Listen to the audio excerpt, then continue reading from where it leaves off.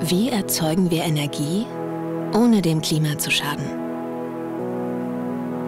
Wie heilen wir Krankheiten zum Wohle der ganzen Welt? Wie entlocken wir Materie ihr enormes Potenzial? Welche Technologien haben die Kraft, unser Leben zu verbessern, heute und in naher Zukunft? Um Fragen wie diese, die großen Herausforderungen unserer Zeit zu lösen, vereinen wir exzellente Forschung und innovative Technologie in einer starken Gemeinschaft. Dabei setzen wir auf weltweit erstklassige Labore und Geräte, Spitzenleistungen, Vertrauen und langfristig finanzierte Projekte. Vor allem aber lebt unsere Gemeinschaft von der Exzellenz und den Ideen der Menschen, die hier eng zusammenarbeiten. Wir schließen Partnerschaften über Disziplinen, Organisationen, Kulturen und Kontinente hinweg. Dabei eint uns ein Ziel. Durch Wissenschaft und Forschung die Grenzen des Machbaren immer weiter zu verschieben. Gemeinsam verändern wir so die Welt von heute und verbessern das Leben künftiger Generationen. Wir sind Helmholtz.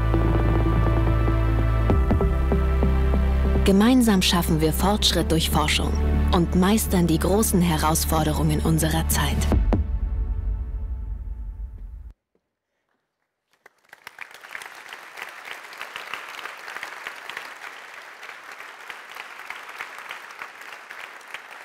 Werte Gäste, der Applaus gilt Ihnen, denn Sie sind Helmholtz und ich darf Sie ganz herzlich begrüßen zur Helmholtz-Jahrestagung, also zu Ihrer Jahrestagung. Ihnen, die Sie hier in Herzen Berlins dabei sind und auch Ihnen, da schaue ich mal in die Kamera, die uns über den Livestream verbunden sind. Ähm, wir kennen uns noch nicht. Ich bin Tanja Samrotzki. Ich freue mich, dass ich Sie durch einen Abend führen kann, der Herausforderung als Inspiration begreift und der auf Partnerschaften setzt. Und ähm, ich fühle mich geehrt, dass ich die ersten Verknüpfungen heute Abend schon machen kann. Die eine ist die zu Ihnen und die nächste ist die zu Ihrem Gastgeber. Und den bitte ich jetzt zu mir auf die Bühne, Professor Dr. Ostmar Wiesler, den Präsidenten der Helmholtz-Gemeinschaft. Lieber Herr Wiesler. Hallo. Danke für die Einladung.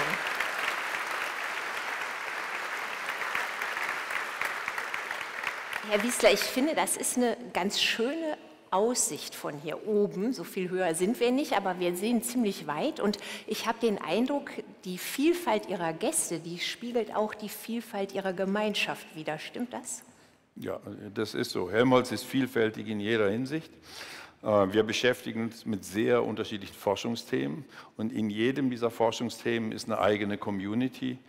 Ähm, wir sind international.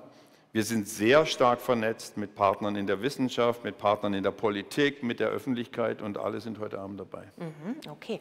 Sie scheuen keine Herausforderungen, das sehen wir schon, weil die da ja auch benannt sind, die Challenges. Und ähm, wir wissen alle, an Herausforderungen mangelt es nun wahrlich nicht in dieser Zeit. Ähm, wir werden darauf zu sprechen kommen, natürlich. Aber ich finde umso schöner, dass Sie sich entschieden haben, mit einem Blick auf die Chancen zu beginnen, weil die gibt es ja auch.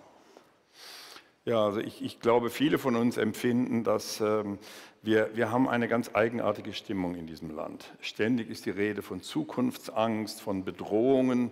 Ähm, und ähm, ich, ich, glaube, wir brauchen einen Mentalitätswechsel. Äh, jetzt ist eine Zeit, wo wir nach vorne schauen müssen, wo jeder und jede von uns sich überlegen muss, was kann ich eigentlich tun, um endlich wieder Schwung in dieses Land zu bringen. Und wir versuchen das natürlich durch äh, das, was wir am besten können, nämlich Spitzenforschung, um einige der wirklich großen Themen anzugehen. Mhm. Sei es Energiewende, äh, die großen Herausforderungen in der Gesundheit, Mobilität, ähm, ähm, digitale Transformation und so weiter. Sie haben so viele Aspekte jetzt angesprochen, dass es nicht ähm, parteilich war, dass Sie die Gesundheit auch erwähnt haben, aber jeder hier im Raum weiß vermutlich um Ihren medizinischen Background und Sie haben ja leichtfertigerweise verraten, was Sie eigentlich bewogen hat, sich auf die Forschung zu konzentrieren, dass Sie nämlich keine Lust mehr hatten, längere Arztbriefe zu diktieren. Ja, das war, ähm, das war ein Motiv.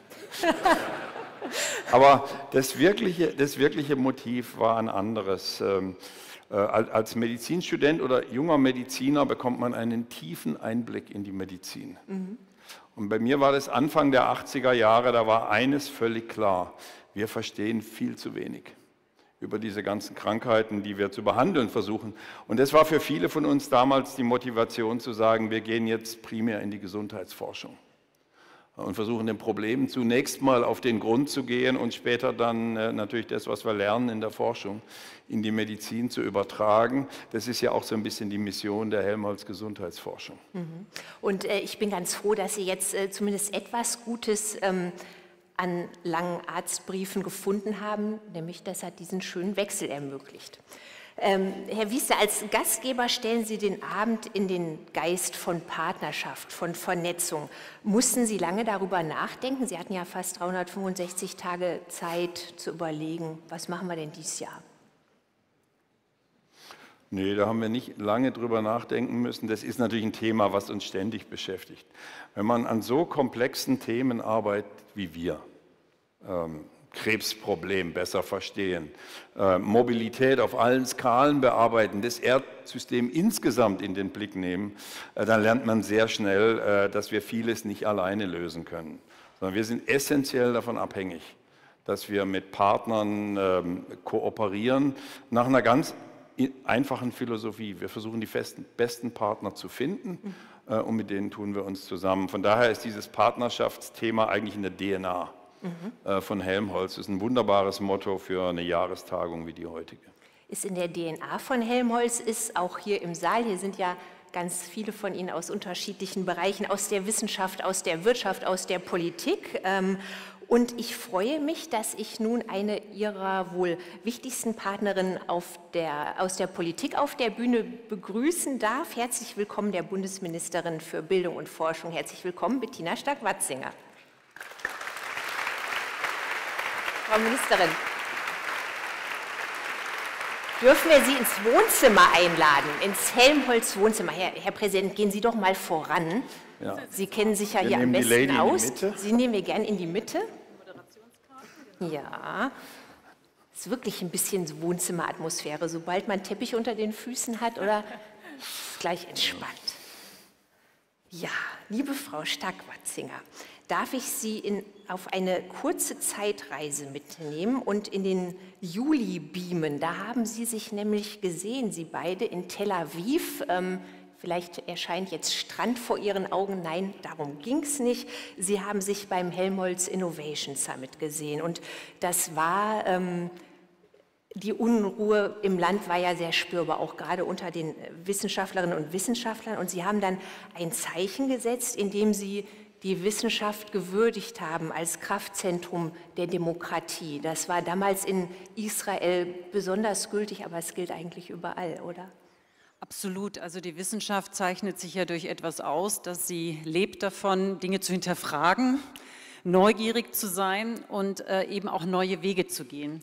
Und deswegen ist die Wissenschaft, die Universitäten, die Hochschulen, die Forschungseinrichtungen sind deswegen auch oft Treiber, nicht nur von Innovationen, die wir brauchen in Technologie oder in gesellschaftlichen Fragen, sondern auch wirklich in der Gesellschaft. Und ähm, deswegen ist es auch so immens wichtig, dass diese Wissenschaftsfreiheit gelebt wird. Ähm, wenn Sie in den Iran schauen, wenn Sie in andere Länder schauen, dort geht oft dieser Drang nach Freiheit und eben diesem Fortschritt und Zukunft geht oft von diesen Wissens, ja, Wissenshubs, also diesen Kernen aus. Und deswegen ist es so wichtig und deswegen ist auch wichtig, dass ähm, wir mit den Wissenschaftlern uns ausgetauscht haben in, in Israel. Und dort war auch der klare Wunsch an uns, dass wir uns klar positionieren mhm. und dafür auch die Stimme erheben. Und das ja. tun wir gerne. Der klare Wunsch, den Sie da benennen, der kam ja unter anderem vom Uni-Präsidenten in Tel Aviv, von Ariel Porat, ähm, der warnte, erst kommt die Justiz, die eingeschränkt wird und dann die Wissenschaft. Und ähm, diese Sorge des Uni-Präsidenten und ihr gemeinsamer Besuch, Herr Wiesler, beim Weizmann-Institut haben deutlich gemacht, Forschung ist kein Elfenbeinturm. Ähm, wo sehen Sie die größten Herausforderungen angesichts dessen, was gerade los ist in der Welt für die Wissenschaft? Naja, ich, ich, ich glaube, die, die allergrößte Herausforderung für die Wissenschaft global ist wirklich Lösungen zu entwickeln für einige der großen Probleme, die uns bedrohen. Ähm, äh, die sind übrigens jenseits von Kontinenten, politischen Systemen. Ähm, da ist ganz sicher das, äh, das Thema, äh, wie kommen wir zu einem wirklichen Verständnis des Klimawandels und entwickeln Lösungen, damit umzugehen. Ähm, äh, ich glaube, wir brauchen dringend bessere Ansätze, um ein völlig neues Energiesystem aufzubauen. Die beiden Dinge hängen übrigens zusammen. Es ist auch eine unglaubliche Zukunftschance für ein Land ähm, wie Deutschland. Ich glaube, die Corona-Pandemie hat uns gezeigt, es gibt globale Bedrohungen der Gesundheit, denen können wir uns noch sehr viel besser nähern, als wir das bislang tun. Und ähm, ein, ein, anderes Thema, glaube ich, was, was voll auf uns zukommt, ist äh, die, die ganze datenbasierte Forschung. Wir erleben eine digitale Revolution, die in alle Lebensbereiche reingehen wird, die unsere Forschung ganz entscheidend befruchten wird. Und auch da, glaube ich, müssen wir uns schleunigst auf den Weg machen. Ähm, ähm, einfach schneller vorwärts zu marschieren. Äh, das, und das ist übrigens kein deutsches Thema, das ist wirklich global. Mhm. Ähm, wir werden auf vieles davon ja noch zu sprechen kommen, wenn Sie sich mit der chinesischen Akademie der Wissenschaft unterhalten über große Zukunftsthemen, die die Forschungspolitik des Landes bestimmen, sind äh, praktisch dieselben. Und im besten Falle ähm, arbeiten ganz viele gemeinschaftlich an Lösungen. Ähm, Frau Stark-Watzinger, es scheint gerade schwieriger geworden zu sein, verlässliche Partner zu finden. Ähm, wie finden wir die und wie stärkt man die Zusammenarbeit? Also Professor Wiesler hat es ja gerade gesagt, die globalen Herausforderungen können wir auch nur global lösen und die Wissenschaft ist international und das ist auch gut so.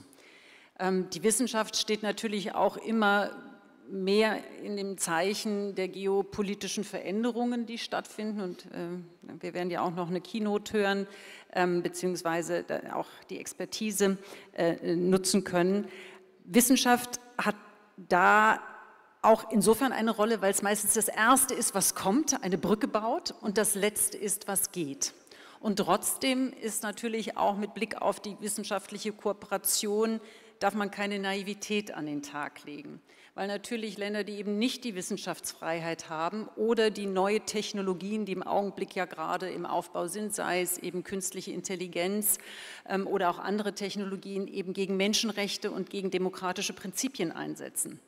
Und deswegen ist es wichtig, dass man sich dessen bewusst ist, also nicht die Naivität, und dass man dann auch mit Blick auf, mit wem arbeite ich in welchem Bereich zusammen, eben auch die Verantwortung übernimmt, dass, ähm, dass hier eben auch eine, eben die, diese Freiheit, die wir ja als, als Wettbewerbsfaktor haben, dort nicht gegeben sind und die Verantwortung, dass man eben auch nicht dazu beiträgt, dass etwas ähm, ähm, eingesetzt werden kann gegen unsere Werte. Und deswegen ist es wichtig, dass wir die Wertepartner, die wir haben, die also unsere Werte teilen, mhm. dass wir dort die Kooperation verstärken, intensivieren, ähm, weil man steht natürlich auch mit Blick auf wissenschaftliche Erkenntnisse und wissenschaftlichen Fortschritt im Wettbewerb und dass wir die Brücken so lange wie möglich und natürlich auch so intensiv wie möglich aufrechterhalten, aber eben in bestimmten, mit bestimmten Leitplanken. Mhm. Sie haben den Wettbewerb angesprochen. Also bei aller Kooperation, bei aller Partnerschaftlichkeit ähm, ist es in der Forschung doch letztlich Herr Professor Wiesler, nicht anders als beim Fußball. Die besten Player hat man gerne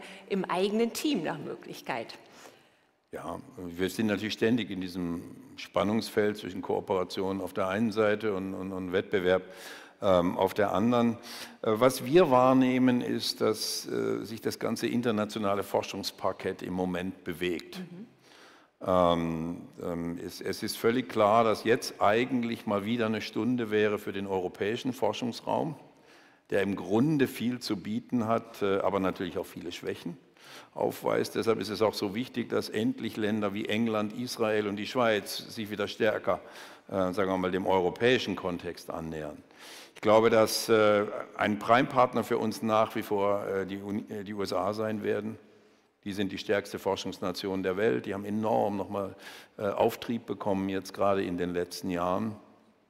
Und wir müssen uns auch Ländern zuwenden, die wir vielleicht so ein bisschen vernachlässigt haben. Ähm, wenn Sie an Südostasien denken, Japan, Südkorea, Singapur, ähm, Ozeanien, Australien, Sie waren auch in Australien gewesen, äh, Neuseeland. Also ich, ich glaube, da wird es viele neue Impulse geben und auch die ein oder andere neue Partnerschaft.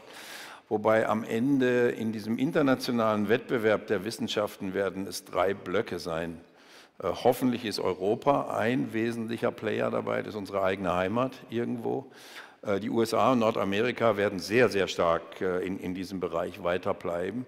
Und dann kommen natürlich starke Spieler aus Asien. Das ist überhaupt gar keine Frage, dass China in vielen Bereichen an die Spitze strebt oder die Spitze bereich, bereits erreicht hat. Da klang so ein bisschen mit, also Sie haben die Hoffnung geäußert, dass, dass ähm, Europa da auch vorne ist. Da klang aber die Sorge auch so ein bisschen durch. Und Sie hatten ja auch äh, den, den Konjunktiv benutzt. Sie haben gesagt, eigentlich wäre es an der Zeit, dass Europa da gut zusammenarbeitet. Und es, nee, Sie haben gesagt, eigentlich wäre es an der Zeit. Ähm, höre ich das richtig, dass Sie da ein bisschen Luft nach oben sehen? Ich bin ein bisschen skeptisch, was Europa angeht, äh, eigentlich aus zwei Gründen. Zum einen ist Europa extrem heterogen. Es gibt vier oder fünf Länder, die wirklich stark sind in Forschung, Entwicklung, Innovation, übrigens auch in Bildung. Und es gibt eine große Zahl von Ländern, die eigentlich in diesem internationalen Wettbewerb nicht in der vorderen Gruppe dabei sind. Und wir müssen das europäische System insgesamt weit, weiterentwickeln. Das zweite Problem, was ich sehe, ich glaube, dass die Kommission bisher das Thema Forschung, Entwicklung, Innovation, äh, Anziehungskraft auf Talente nicht wirklich im Fokus hat. Es mhm. wäre ein wunderbares, übergreifendes Thema für eine neue ähm, Europäische Union, das hier zu dem Magneten zu machen für Talente und einem der größten Motoren für Forschung und Entwicklung. Aber ich glaube, wir teilen diese Sichtweise, da sind wir noch ein Stück weit äh, von entfernt. Mhm. Ähm, ja, bin ich gespannt, ob Sie die Sichtweise teilen, Frau Stark-Watzinger. Und ähm, vielleicht können wir auch noch einen allgemeinen Blick werfen auf Rahmenbedingungen für exzellente Forschung. Sie haben ja, das äh, wissen Sie vielleicht gar nicht, werte Gäste, ich habe das erst in der Vorbereitung gelernt, dass Sie äh, selbst mal ein Forschungsinstitut geleitet haben. Da ging's Nur die Geschäftsführung. Also Geschäftsführung, ja, ja, ja. Aber, aber, aber immerhin, also Sie, Sie kennen die die Probleme in der Praxis und ähm, haben da sicher auch mitgekriegt, äh, welche Rahmenbedingungen hilfreich sind und welche schädlich. Und ähm, vielleicht können Sie das ja im besten Fall in politisches Handeln umsetzen. Ja, ich möchte äh, zwei Dinge äh, dazu sagen. Also das eine nochmal mit Blick auf Europa absolut richtig, weil wenn wir uns international mit einem Raum wie China messen, dann müssen wir eigentlich Europa als Basis nehmen. Und wir arbeiten ja in Europa schon sehr, sehr gut zusammen. Wir haben auch die großen ähm, Forschungsförderprogramme. Aber wir können natürlich jetzt vor dem Hintergrund der Veränderungen, die da sind, müssen wir es nochmal wieder weiterentwickeln. Und das wird die Aufgabe sein in den nächsten Jahren. Sehr viel bilaterale Beziehungen gibt es innerhalb Europas, einfach durch die Nähe und auch die lange Tradition der Zusammenarbeit. Und ich bin sehr, sehr froh, dass es jetzt äh, wirklich äh, geschafft wurde. Da haben wir uns lange eingesetzt dafür im Ministerium und ich habe das auch immer wieder zur Sprache gebracht, dass jetzt ähm, Großbritannien wieder Teil von Horizon Europe ist. Denn Großbritannien war und ist und wird ein starker Forschungsraum sein. Und die Wissenschaft soll nicht darunter leiden, dass politisch vielleicht falsche Entscheidungen getroffen wurden. Das ist ganz wichtig. Und die Schweiz ist eigentlich Next Step, dass man da auch die Hürden noch beiseite räumt. Und auch mit Blick auf Innovationsräume. Ähm, denn wir haben hier diesen großen Markt und die große Möglichkeit auch, die Innovation auszurollen. Und da müssen wir die bürokratischen Hürden abbauen als ein Punkt. Mhm. Jetzt zu dem, was habe ich denn damals erlebt? Also ich durfte auch Berichte schreiben, von denen ich nicht weiß, ob jemand sie gelesen hat. Eine Art Arztbrief. Ähm, also was ich sagen muss, es war, äh, waren die zehn schönsten Berufsjahre, außer natürlich jetzt, was ich machen darf. Waren, äh, weil es immer sehr spannend war und sehr abwechslungsreich war und ähm, eben auch diese Motivation, die in, diesen, in der Forschung ist und dieses, dieses Ziel, jeden Tag was voranzubringen, das ist schon sehr motivierend. So was habe ich gelernt, dass die Forschung dann gut ist, wenn man den Freiraum lässt. Also ich mache es jetzt mal vielleicht etwas übergeordnet, den Freiraum lässt. Ähm, und deswegen ist es auch so wichtig, dass wir in Deutschland die Grundlagenforschung finanzieren und zwar frei finanzieren mit einer verlässlichen Basis ähm, in der Finanzierung äh, neben anderen Fördermöglichkeiten. Und das Zweite ist, dass wir jetzt schauen, diese Hürden abbauen. Daten ist schon gefallen. Die Zukunft der Wissenschaft liegt in der Datennutzung. Wir haben damals auch angefangen mit einem kleinen Datenlabor, ähm, das aufzubauen und dort die Hürden, sei es mit Blick auf Datenschutz oder auch Zugang zu Daten, deswegen werden wir auch das Forschungsdatengesetz noch auf den Weg bringen in diesem Jahr dass wir also so die, die, die Bausteine, die die Wissenschaft braucht, die Zutaten, die sie braucht, dass wir das ermöglichen. Das Zweite ist wirklich die bürokratischen Hürden so minimal wie möglich zu halten, damit viel Zeit in Kreativität geht und wenig in Bürokratie. Auch da werden wir noch in diesem Jahr das, was unsere Förderlinien angeht. Und das Dritte ist, wir müssen interessant sein für internationale Forscher. Die jungen Forscher sollen auch mal vielleicht in ein anderes Land gehen und äh, international sich bewegen, aber auch gerne wieder zurückkommen oder eben internationale Forscher ähm, auch zu uns holen. Das heißt, gute Infrastrukturen zur Verfügung stellen, die Freiheit zu forschen und überhaupt wettbewerbsfähig zu sein mit Blick mhm. auf andere Standorte. Okay, danke. Ähm, jetzt haben Sie so ein paar Hürden benannt, Herr Wiesler. Ähm, trotzdem gelingt es Ihnen im Helmholtz-Universum, fruchtbare Partnerschaften zu bauen. Was sind für Sie Beispiele, die Sie gerne beleuchten wollen, weil die so schön funktionieren von Partnerschaften? Na, ich hatte ja vorher gesagt, wir, wir haben da einen ganz einfachen Ansatz. Wir suchen uns für das jeweilige Thema die beste Konstellation und den besten Partner, den wir finden können. Ähm, manchmal sind es Partnerschaften an, an einem Ort. Äh, die gibt es äh, an, an, zahlreichen Orten. Eine, die mir, äh, mich oft besonders äh, beeindruckt, äh, ist diese sehr enge Verbindung, die es mittlerweile gibt zwischen dem DAISY-Forschungszentrum in Hamburg und der Universität. Da entsteht eine ganze Science City um diese beiden Partner herum. Ich glaube, das ist äh, gelebte Partnerschaft äh, in der Dimension, die wir, die wir brauchen. Wir brauchen aber auch Partnerschaften, die über die Wissenschaft rausgehen. Gerade in einem Land wie Deutschland, wo die Bedingungen für ähm, äh, Ausgründungen und Start-up-Unternehmen bei weitem nicht so günstig sind wie in den USA oder in Israel äh, zum Beispiel, ähm, glaube ich, müssen wir mehr dafür tun, dass es äh, kluge Partnerschaften gibt zwischen der Wissenschaft auf der einen Seite und der Wirtschaft auf der anderen. Da steckt eine Menge Potenzial drin für unser Land. Da ist eine, die mir immer wieder in den Sinn kommt, die ich auch häufiger besucht habe, ist dieses Innovationszentrum, was Zeiss und das KIT gemeinsam in Karlsruhe aufgebaut haben. Und das ist wirklich erfolgreich und lebt. Wir brauchen die Partnerschaften aber auch international. Da ist äh, eine, die mir natürlich mit am meisten äh, Freude bereitet, die, die wir gemeinsam besucht haben in Rehovot. Äh, dieses wirklich faszinierende Spektrum von Langfristkooperationen, die wir mittlerweile zwischen Helmholtz-Zentren und Weizmann-Institut haben. Ich habe gerade nach oben geguckt, weil wir sind uns so nah. Sie sind aber, sehe ich mit Freude über das Bild auch sehr nah, weil Ihre Augen da richtig leuchten, wenn Sie davon, das haben Sie bestimmt auch gesehen. Äh, zum Schluss mit Ihnen beiden gerne noch ein Blick auf die große Revolution, die wir ja gerade erleben, die digitale Revolution, die nicht etwa kommt, sondern wir sind mittendrin. Ähm, was ist wichtig, damit wir die gemeinsam gut gestalten können? Ja, die Grundlage ist natürlich auch hier wieder die exzellente Wissenschaft und da sind wir in Deutschland gut aufgestellt mit der KI-Revolution und der Wissenschaft. Da sind wir unter den Top-Ländern.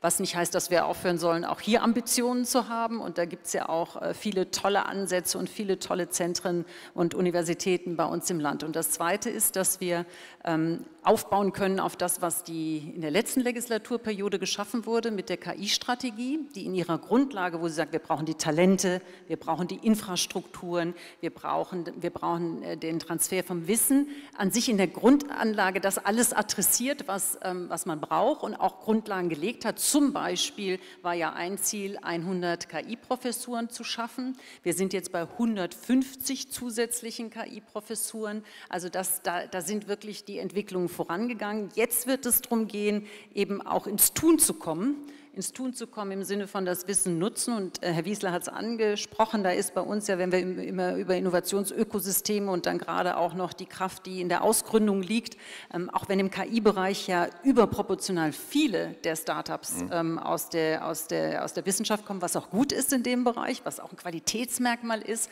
Und da müssen wir jetzt stärker die Brücken bauen. Das soll jetzt geschehen indem wir eben wirklich äh, in Aktion treten. Ähm, das hat auch was damit zu tun, eine KI muss trainiert werden, gefüttert werden, das heißt die Daten Es wird um die Infrastrukturen gehen, ähm, die braucht man, da ist Helmholtz ja auch ähm, sehr aktiv. Ähm, und dann wird es eben auch darum gehen, dieses Ökosystem aufzubauen. Und da kann der Staat nicht alles, aber er kann ein Ermöglicher sein, dass wir jetzt wirklich das, was wir wissen, auch umsetzen in die Hände, in Produkte und in tolle neue Innovationen, sei es soziale Innovationen, die auch KI getrieben sein können oder technologische Innovationen. Beides gehört zusammen. Jetzt haben Sie vom Ökosystem gesprochen. Ich glaube, die Helmholtz-Gemeinschaft ist äh, ein sehr aktiver Teil in diesem Ökosystem. Und ich vermute, Herr Wiesler, so wie ich Sie bisher jetzt erlebt habe, dass Sie auch mit Blick auf die äh, künstliche Intelligenz eher die Chancen sehen als die Gefahren. Regulierung ist auch ein Thema. Ja, absolut.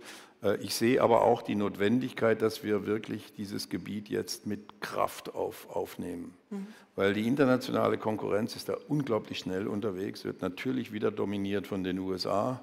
Wenn Sie diese ganzen Chat-GPT-Entwicklungen und die Generationen, die jetzt bereits danach kommen, sehen.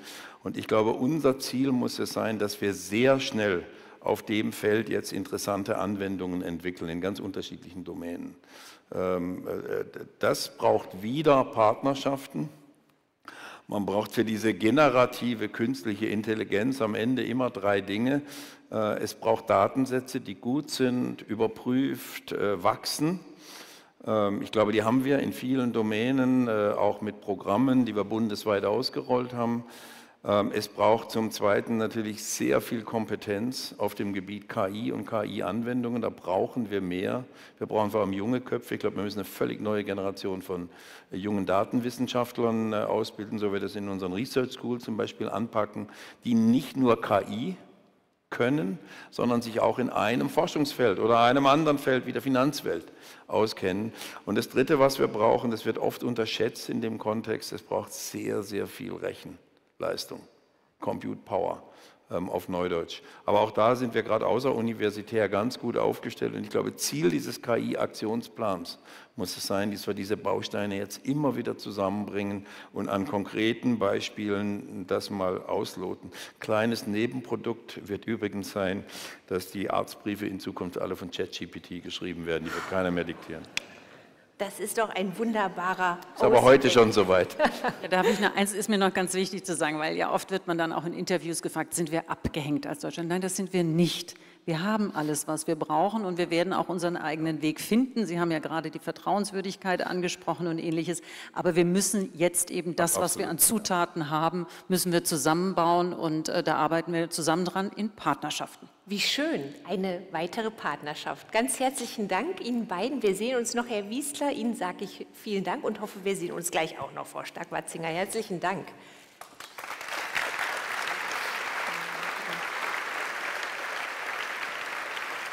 Dankeschön.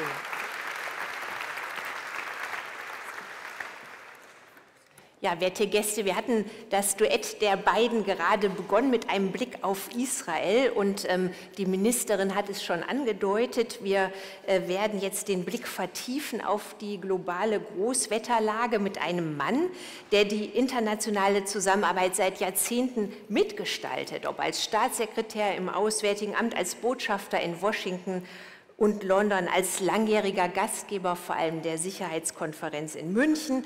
Und ähm, der ist unser Keynote-Speaker auch jetzt noch weiter verbunden als Präsident des Stiftungsrates. Dabei wollte Wolfgang Ischinger sich als junger Mann doch eigentlich ganz wissenschaftlich betätigen, nämlich im Bereich des Völkerrechts. Und ähm, tatsächlich hatte Wolfgang Ischinger es 1973 auch geschafft, mit einem DAAD-Stipendium äh, äh bis nach Harvard in ein Forschungsprojekt. Und sein Professor agierte allerdings etwas leichtfertig und schickte Wolfgang Ischinger als Praktikant zu den Vereinten Nationen. Und da wurde er dann eiskalt abgeworben, also auch damals schon Kampf um die besten Köpfe und fand sich dann als erster Deutscher im UN-Sekretariat wieder, wo er äh, dann später, nicht im Sekretariat, aber in der Vollversammlung der Rede des damaligen Kanzlers Willy Brandt lauschen konnte.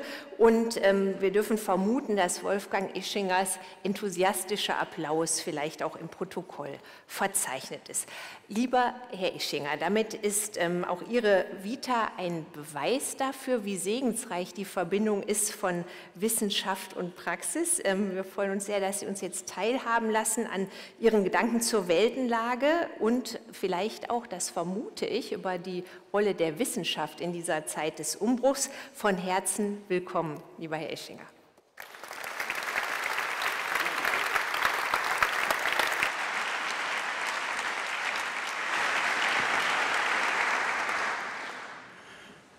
Ja, zunächst einmal ganz herzlichen Dank äh, an die Helmholtz-Gemeinschaft. Ich fühle mich total geehrt, hier äh, heute dabei sein zu können und für ein paar Minuten, 19 Minuten und 47 Sekunden habe ich jetzt noch ähm, mit Ihnen über die Weltlage und vielleicht in der Tat auch den Zusammenhang zwischen der Weltlage und den Themen der Wissenschaft zu sprechen. Aber nachdem Sie es jetzt gerade erwähnt haben, äh, es ist jetzt fast genau 26. September 1973, 50 Jahre her, dass der damalige Bundeskanzler Willy Brandt als erster Bundeskanzler äh, eines neuen Mitgliedslands vor, den, vor der Vollversammlung der Vereinten Nationen sprach.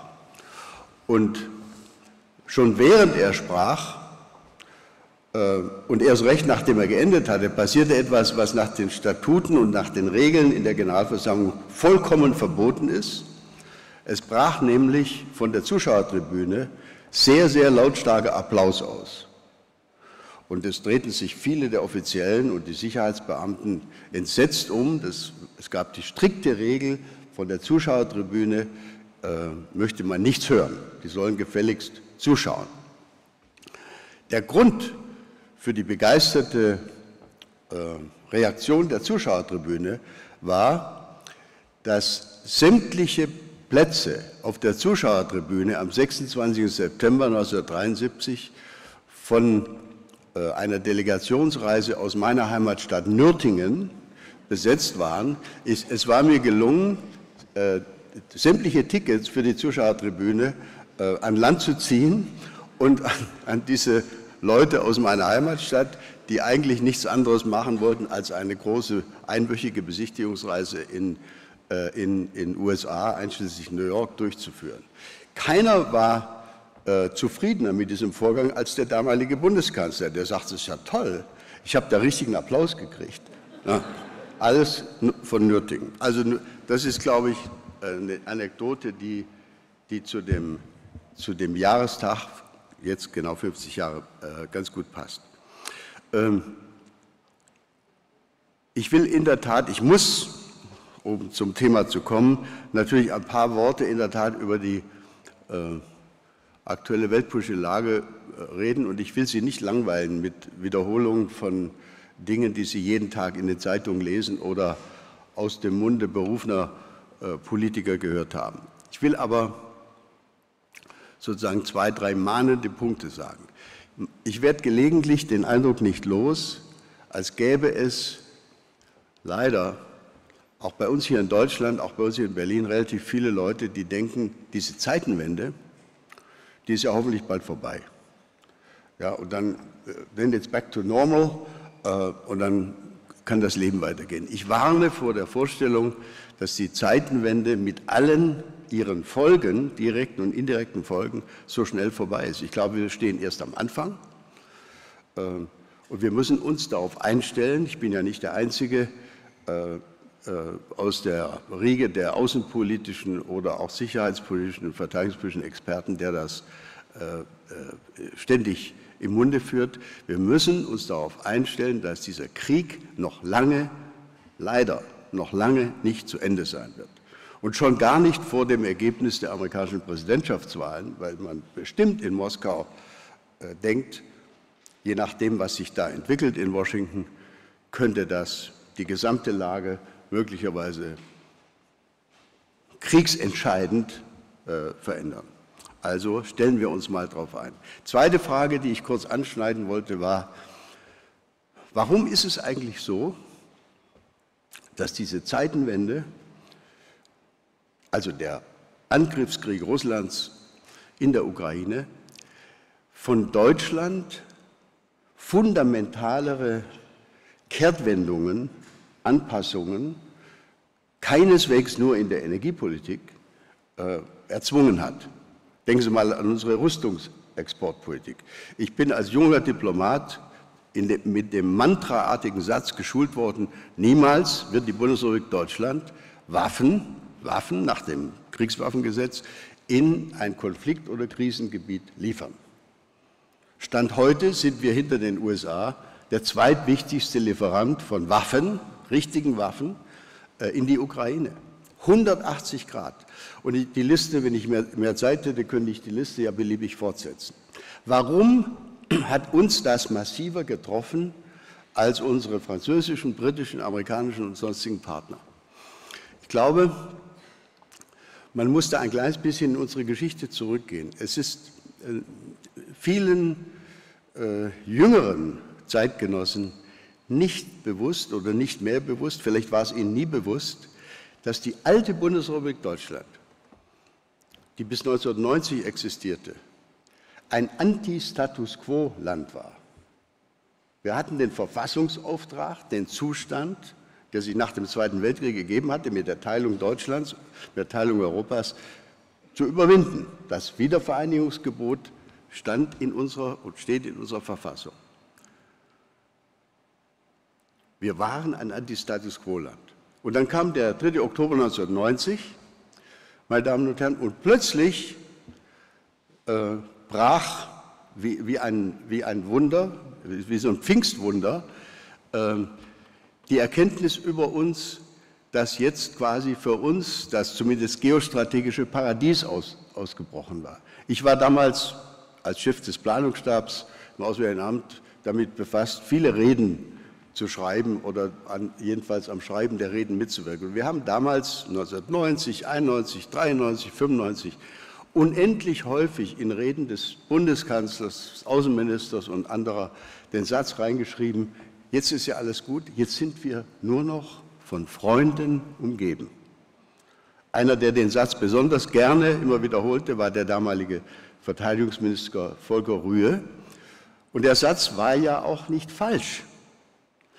Was aber passierte, sage ich jetzt im Rückblick, war mir damals natürlich auch nicht so klar, ist, dass wir in dem Überschwang, dass wir jetzt nur noch von Freunden umgeben waren, äh, eine Liebesaffäre mit dem neu gewonnenen Status quo entwickelten, nachdem wir mehrere Jahrzehnte durch gegen den Status quo ja anrennen mussten, jetzt plötzlich Liebesaffäre. Und zu dieser Liebesaffäre mit dem Status quo gehörte natürlich auch die Idee einer sich vertiefenden, dauerhaften, äh, nachhaltigen Partnerschaft mit Russland, genauso wie mit den äh, äh, Partnern in der Europäischen Union und in der NATO. Und wir haben, weil wir so verliebt waren in diese in diesen neuen Status quo und in diese Partnerschaftsidee. Wir haben, und diesen, dieses Phänomen gibt es ja auch in, in zwischenmenschlichen Beziehungen, wir haben, als der Partner Russland beschlossen hatte, nicht mehr der Partner sein zu wollen, den wir uns da so erträumt hatten, wir haben uns geweigert, das einzusehen. Nur so kann man eigentlich erklären, dass ganze Generationen von Politikern, Diplomaten, fachlichen Experten noch bis in das Jahr 2020, 2021, selbst noch nach, nach dem Wahltag 2021 an solchen Projekten wie Nord Stream 2 glaubten festhalten zu sollen. Also ich will damit nur sagen, wir haben eine besondere Geschichte mit dieser deutschen Teilung, ihrer Überwindung, der wunderschönen Idee der Partnerschaft mit der früheren Sowjetunion, mit, mit der Russischen Föderation.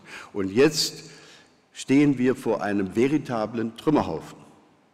Für meine Generation, Ich habe, Sie haben es ja vorhin gesagt, ich habe 1975 nach ein paar Jahren UNO 1975 äh, im Auswärtigen Amt angefangen und äh, die Minister, die ich erlebt habe, die Vorgesetzten, mit denen ich zusammengearbeitet habe, bis in die letzten Jahre, bis nach, zu meinem Ausscheiden, wir haben gearbeitet an der Errichtung einer, so nannte man das früher, äh, einer Friedensordnung.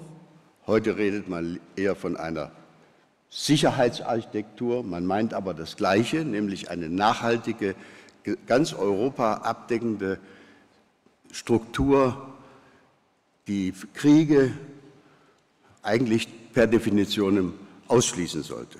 Ein großer Trümmerhaufen. So, und was bedeutet das jetzt für uns und was bedeutet es vielleicht auch für die Wissenschaft? Ähm, ich will noch, eine, noch einen Punkt zuvor machen. Ähm, wenn ich mit Unternehmern, mit Unternehmen rede, dann kann man als selbstverständlich voraussetzen, dass jedes Unternehmen, zumindest jedes größere Unternehmen, einen Chief Risk Officer hat dessen Aufgabe es ist, dafür zu sorgen, dass das Unternehmen, egal ob es um Geld oder um Rohstoffe oder um, oder um bestimmte Technologien geht, sich nicht in übergroße Abhängigkeiten, äh, in Risiken begibt. Das Problem, das ich sehe als langjähriger Mitarbeiter der Bundesregierung, ist, dass wir, das ist eine Erkenntnis, die sich für mich aus dieser Kriegsentwicklung der letzten Jahre ergibt, dass wir in der Bundesregierung nach wie vor eigentlich keinen Chief Risk Officer haben. Ich gehöre zu denen, die seit Jahren dafür plädiert haben, wir sollten doch bitte schön den Bundessicherheitsrat ausbauen oder einen nationalen Sicherheitsrat einrichten, damit wir ein Instrumentarium haben, das frühzeitig warnen kann vor sich entwickelnden Abhängigkeiten, vor strategischen Verwundbarkeiten und Ähnlichem. Ich weiß nicht, wie viele unter Ihnen vor der Pandemie sich bewusst waren, wie stark unsere pharmazeutische Industrie von Lieferungen aus Indien, aber auch aus China abhängig war. Ich jedenfalls habe das erst durch die, äh, durch die akuten Berichte und, und, und, Mängel und Defizite erfahren, die uns da äh, ins Haus standen. Und meine Damen und Herren, was bedeutet das äh, äh, für uns heute? Wo sind die, hier ist das Thema Partnerschaft und Kooperation. Ähm, ich persönlich glaube, dass es ganz, ganz falsch wäre, auch nur einen kleinen Schritt zu weit zu gehen in die Richtung Beschränkung der Zusammenarbeit. Ich verstehe die Risiken.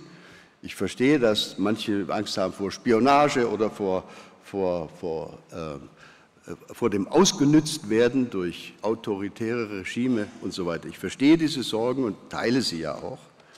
Aber ich glaube, man muss da eine, einen Kompass haben. Und ich biete mal folgende Überlegung an.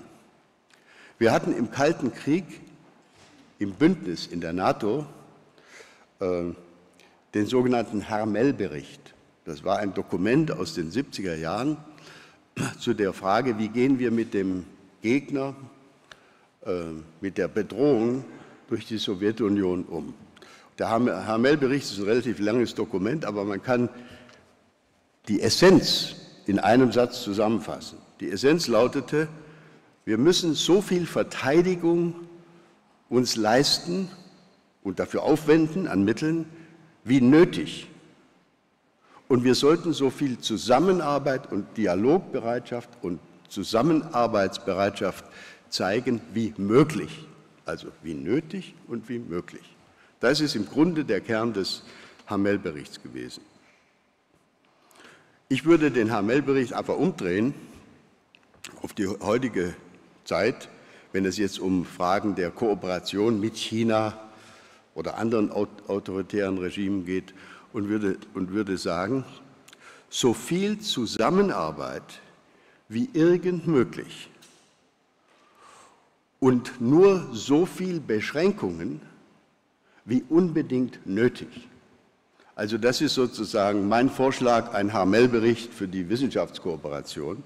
Äh, mir ist klar, das kann nur eine, eine, eine ganz generelle Guideline sein, aber es könnte vielleicht eine Basis sein, um sich immer wieder auch mit den Partnern so abzustimmen, dass wir auch eine gemeinsame europäische Linie zu diesen, äh, zu diesen Themen finden. Äh, ich möchte gerne weil vorhin das Thema Europa ja auch angesprochen worden ist. Ich möchte gerne enden mit einem Sie hoffentlich alle nicht, nicht verwundernden Plädoyer für das Europathema. Es ist ja richtig, dass es hier manchmal langsamer geht und dass wir Fliehkräfte innerhalb der Europäischen Union haben, Polen, Ungarn, und so weiter. Und dann haben die Briten uns auch noch verlassen. Ähm, ja, alles richtig. Trotzdem bleibt für mich als Außenpolitiker eines ganz, ganz klar. Es ist ja schön, dass die Bundesregierung jetzt eine China-Strategie vorgestellt hat. Aber glauben Sie bloß nicht, dass diese China-Strategie in Peking großen Eindruck macht. Das ist die China-Strategie eines 80-Millionen-Landes. Was wir brauchen, ist eine China-Strategie der 450 Millionen Europäer. Daran wird gearbeitet, ist mir bewusst, das ist auch gut so. Ich will nur sagen, unsere Politik, die Handlungsfähigkeit, die wir durch die Europäische Union gewinnen wollen, das sagt, sagt ja nicht nur der Koalitionsvertrag der gegenwärtigen Regierung, das sagten auch die sämtliche Koalitionsverträge der Vorgängerregierungen, wenn wir Handlungsfähigkeit gewinnen wollen in der Europäischen Union, dann müssen wir uns in den Stand versetzen, mit einer Stimme zu sprechen. Und es gibt kein Thema aus meiner Sicht, das dafür wichtiger ist als die Auseinandersetzung mit China. Es kann zu keinem guten Ende führen, meine Damen und Herren, wenn wir eine deutsche China-Politik weiter betreiben, die Franzosen haben ohnehin ihre französische China-Politik, die Briten machen ohnehin ihr eigenes Ding. Ähm, nichts ist schöner. Und ich weiß, ich nehme für mich in Anspruch, dass ich ein kleines bisschen weiß, weil ich mit denen so oft geredet habe, wie unsere chinesischen Kollegen denken. Nichts ist schöner wie die, als wenn sie das Gefühl haben, wir können das altbekannte Prinzip divide et impera äh, wunderbar gegenüber den Europäern umsetzen. Ja, wir kaufen uns da im Hafen von Piräus ein und dann haben wir die schon mal in der Tasche und so weiter. Also lassen Sie uns an dem Europagedanken festhalten. Und ich würde gerne, ich habe jetzt nur noch zwei Minuten Zeit, äh, schließen zum Thema Europa mit folgender Feststellung.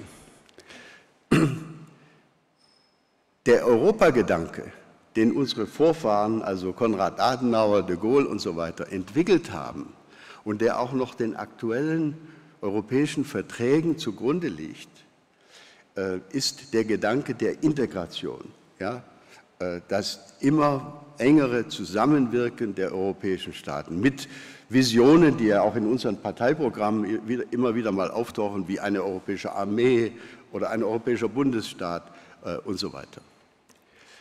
Ich glaube, dass diese klassische Vorstellung äh, Europas, der, der weiteren Ausgestaltung Europas, natürlich ihre Aktualität überhaupt nicht verloren hat. Die sollten wir weiter im Blick behalten. Aber es tritt eine ganz neue Aufgabe angesichts der schweren internationalen Verwerfungen, die der russische Angriffskrieg, die die zunehmend aggressivere chinesische Politik die die Unsicherheiten, die Amerika mit sich bringt, denken Sie nur an Donald Trump und seine denkbare Wiederwahl, angesichts dieser Unwägbarkeiten tritt eine neue Aufgabe für die Europäische Union dazu, die eine ganz andere Aufgabe ist als die alte. Diese neue Aufgabe hat keiner besser beschrieben als Emmanuel Macron, also schon vor vier Jahren, von einem Europe qui protège sprach, von einem Europa, das schützt.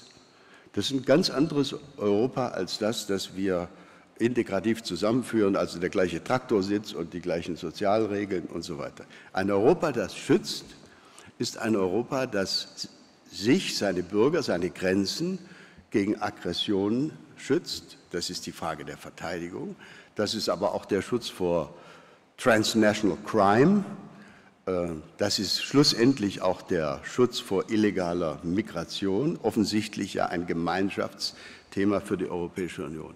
Ich glaube also, dass es sich außerordentlich lohnen würde, wenn wir als der dickste und größte in der Europäischen Union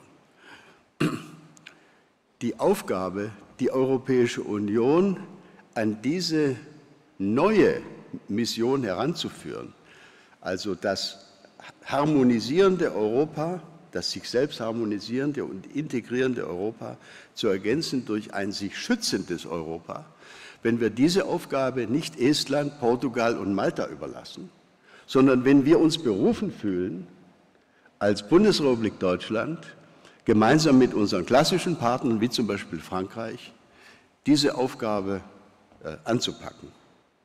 Allerletzter Satz, damit sitzt dieser Punkt.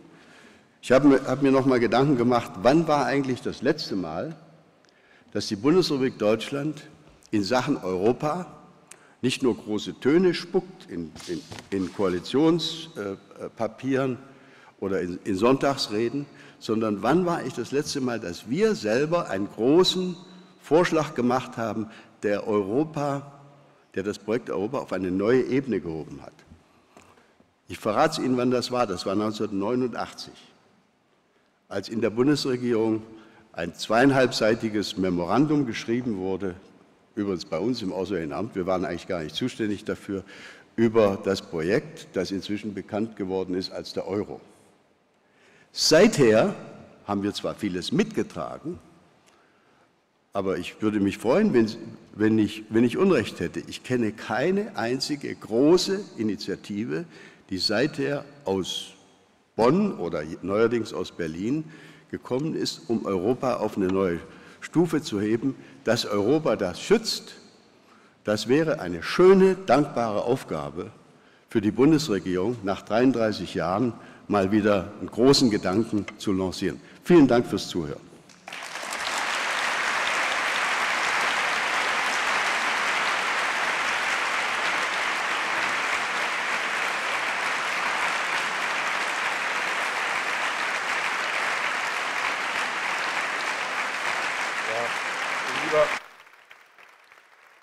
Ischinger, äh, vielen Dank fürs Zuhören dürfen. Ähm, immer wenn ich die Gelegenheit habe, Ihnen zu lauschen, äh, habe ich diesen Eindruck, ähm, äh, was Sie sagen, ist so unendlich viel ergiebiger wie das, was man in vielen Zeitungsartikeln liest oder gar in Talkshows ähm, verfolgt ähm, äh, dieser Tage. Wirklich, wirklich inspirierend. Ich würde gern zwei Punkte kurz aufgreifen, die Sie angesprochen haben. Ähm, wir hatten in den letzten beiden Tagen eine ähm, Versammlung der äh, Mitglieder der Helmholtz-Zentren. Und da war ein Thema, äh, wie stellen wir uns in dieser sich verändernden Welt international neu auf? Äh, und natürlich auch, ähm, wie können wir künftige Kooperationen mit dem Partner China mhm. gestalten, der unzweifelhaft ein wichtiger Partner ist, mit dem es eine lange Tradition der Kooperation gibt und von dem wir glauben, wir müssen auf Feldern, die in unserem ureigenen Interesse sind, strategisch mit China weiter äh, zusammenarbeiten. Natürlich zu Bedingungen und in einem Rahmen, der uns akzeptabel erscheint und den wir ähm, äh, verantworten können. Ähm, Frage an Sie auch, ähm, könnten Sie unter dem Aspekt diese Harmel-Regeln noch ein bisschen weiter ausführen? Haben wir noch eine Stunde? Nee, aber zwei, drei Minuten haben wir. Naja, also ich glaube, es ist in Ihrer Diskussion vorhin ja auch das Wort gefallen, wir dürfen nicht naiv sein. Und in der Tat ist das, glaube ich, im Umgang mit einem Staat wie dem modernen China natürlich ganz wichtig. Wir müssen in der Zusammenarbeit mit China, die ich sehr begrüße und unterstütze, ich gehöre nicht zu den äh, primären Bedenkenträgern in dieser Frage. Aber wir müssen natürlich schon uns dabei immer wieder im Klaren sein, dass China nicht ein Staat ist wie die Mitglieder der Europäischen Union, dass in China jedes große und kleine Unternehmen schlussendlich unter der Beobachtung oder der Führung der Partei steht. Wir haben es mit einem ganz anderen System zu tun, äh, das uns natürlich damit auch vor viel größere Herausforderungen und, und, und, und Fragen und Risiken stellt. Aber wenn man das weiß, dann glaube ich, ist mein Harmel-Prinzip durchaus keine schlechte Regel, um mit China zusammenzuarbeiten. So viel Zusammenarbeit wie möglich. Ich habe selbst in meinem Bereich in der Außenpolitik viel, Sie haben vorhin das erwähnt, die Akademie der Wissenschaften, äh, die haben auch einen, einen, einen, außenpolitischen äh, Bereich. Äh, ich habe über mehrere Jahre Gelegenheit gehabt, mit denen zusammenzuarbeiten und ich kann überhaupt nicht erkennen, dass das irgendwo irgendwie schädlich sein könnte. Im Gegenteil, ich bin auch der Meinung, es ist in unserem Interesse, möglichst viele junge Chinesen, Wissenschaftler nach Deutschland zu holen. Natürlich müssen wir uns sicher sein, dass wir da nicht sozusagen uns den Kuckuck ins, ins Nest holen. Äh, aber wissen Sie, wir dürfen es auch nicht übertreiben. Auch unsere Zusammenarbeit mit dritten Staaten äh, dient ja nicht in erster Linie altruistischen Motiven. Auch wir erhoffen uns, dass wir durch die Zusammenarbeit mit irgendeinem Laboratorium in den USA eigene Erkenntnisgewinne erzielen. Das ist doch selbstverständlich. Und deswegen darf man nicht das Kind mit dem Bade ausschütten und sagen, ja, da könnten ja die Chinesen äh, möglicherweise etwas mitnehmen äh, und das wäre dann zu unserem Nachteil. So, so ist das Leben nun mal.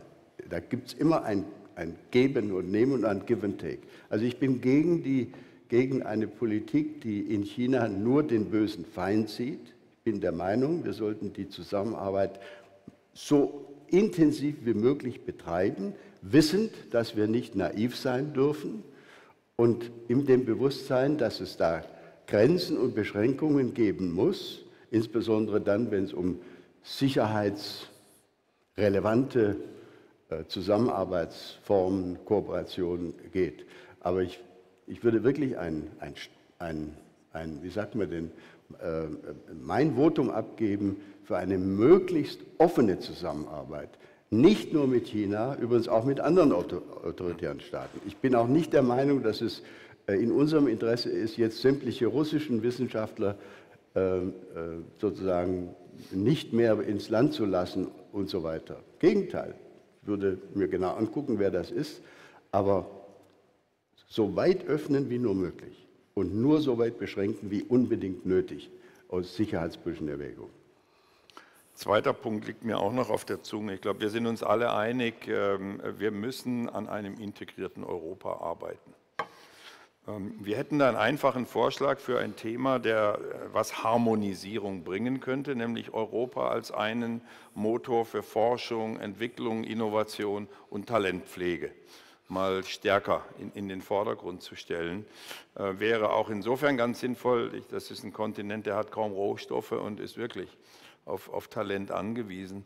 Unser Problem ist nur, mit dem Gedanken stoßen wir in Brüssel bisher auf taube Ohren. Haben Sie denn die volle Unterstützung der Bundesregierung? Natürlich. Ja, also, ja, dann würde ich die Bundesregierung jetzt mal vorschicken. Die sollen, das, das, das sind doch die, sozusagen ihre Pioniere, die, die, die, die müssen das Feld bestellen damit die anderen überzeugt werden. Ich kann mir schon vorstellen, wo, das, äh, wo hier Probleme liegen. In der Europäischen Union ist natürlich immer problematisch, wenn so ein großer, übermächtiger wie Deutschland mit einem Vorschlag kommt, der dann bei den Kleinen den Verdacht auslöst, da, werden, da kommt jetzt der große Bulldozer und unsere Interessen werden dann möglicherweise äh, untergebuttert. Also da, wissen Sie, ich erinnere mich dann gerne aus meiner Anfangs, aus meinen Lehrjahren, aus meinen diplomatischen Lehrjahren an solche schlichten Sätze, die Helmut Kohl zu sagen pflegte, der damals Bundeskanzler war, ab 82. der sagte, also wenn du nach Frankreich fährst, dann musst du immer die Trikolore zweimal grüßen. Das ist schon mal ganz hilfreich. Also, und außerdem muss man bei allen EU-Aktivitäten, die wir betreiben, dafür sorgen, dass die Kleinen, damals gab es noch nicht 20 kleine, damals, damals war die Europäische Gemeinschaft noch ein bisschen kleiner, aber es gab kleine Staaten. Denken Sie an Luxemburg, an Belgien, an die Niederlande. Die muss man von vornherein mitnehmen und darf sie nicht überraschen. Die müssen das Gefühl haben, wir sind bei denen, bei denen in Bonn oder Berlin oder in Paris gut aufgehoben. Die hören auf uns und unsere Interessen werden da nicht untergebuttert. Ich glaube, das ist ein ganz, wichtig, ein ganz wichtiger äh, Erfahrungssatz, den man in allen Gebieten in Brüssel immer wieder in, in Erinnerung rufen sollte. Jedenfalls nicht mit dem Bulldozer dahin fahren, sondern suaviter in Motto. Prima. Lieber Herr Ischinger, herzlichen Dank. Food for Thought, apropos Food. Herr Ischinger wird heute Abend noch ein bisschen unter uns sein. Es gibt also Gelegenheit, ähm, ihn weiter in Gespräche zu verwickeln. Merci. Danke.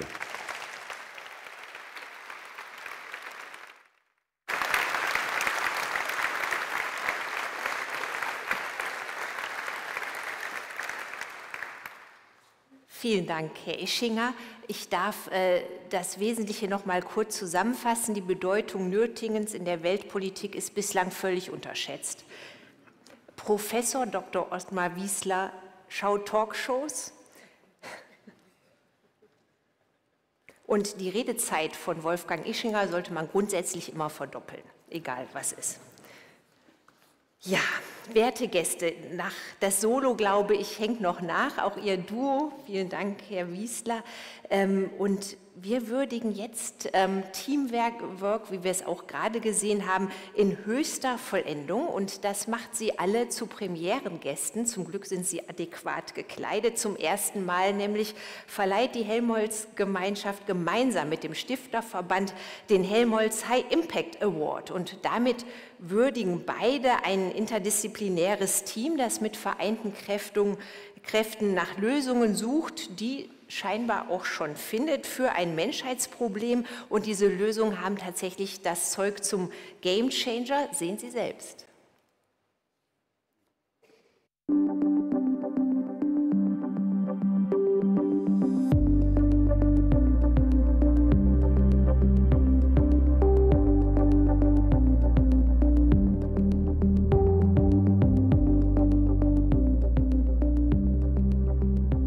Unserem Projekt geht es darum, neuartige Solarzellen zu entwickeln und momentan fokussieren wir uns auf sogenannte Halogenid-Perovskit-Halbleiter, aus denen man Solarzellen bauen kann, aber auch andere optoelektronische Bauelemente. Und wir schauen uns diese Materialien auf einer fundamentalen Ebene sehr, sehr genau an. Welche Eigenschaften haben sie? Welche Eigenschaften wünschen wir uns von ihnen? Und versuchen dann daraus Solarzellen zu bauen. Ziel ist definitiv sozusagen, den Energiesektor zu revolutionieren und mit den neuartigen Materialien effizientere und kostengünstigere Solarmodule herzustellen und die dann auch an den Mann und an die Frau zu bringen und damit erneuerbare Energie äh, für einen großen Teil der Menschheit bereitzustellen.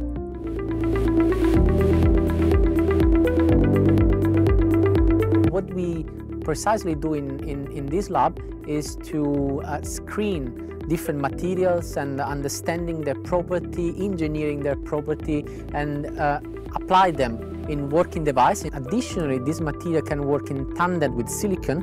Ähm, eine Tandem-Solarzelle ist wie ein Tandem-Fahrrad. Man kann sich also vorstellen, zwei verschiedene Solarzellen sind übereinander gestapelt und teilen sich das Sonnenlicht. Die eine Schicht absorbiert speziell das sichtbare und das blaue Licht, die andere Schicht eher das rote und zusammen sind sie stärker und können mehr Energie umwandeln aus dem Sonnenlicht als jede einzelne Zelle für sich genommen.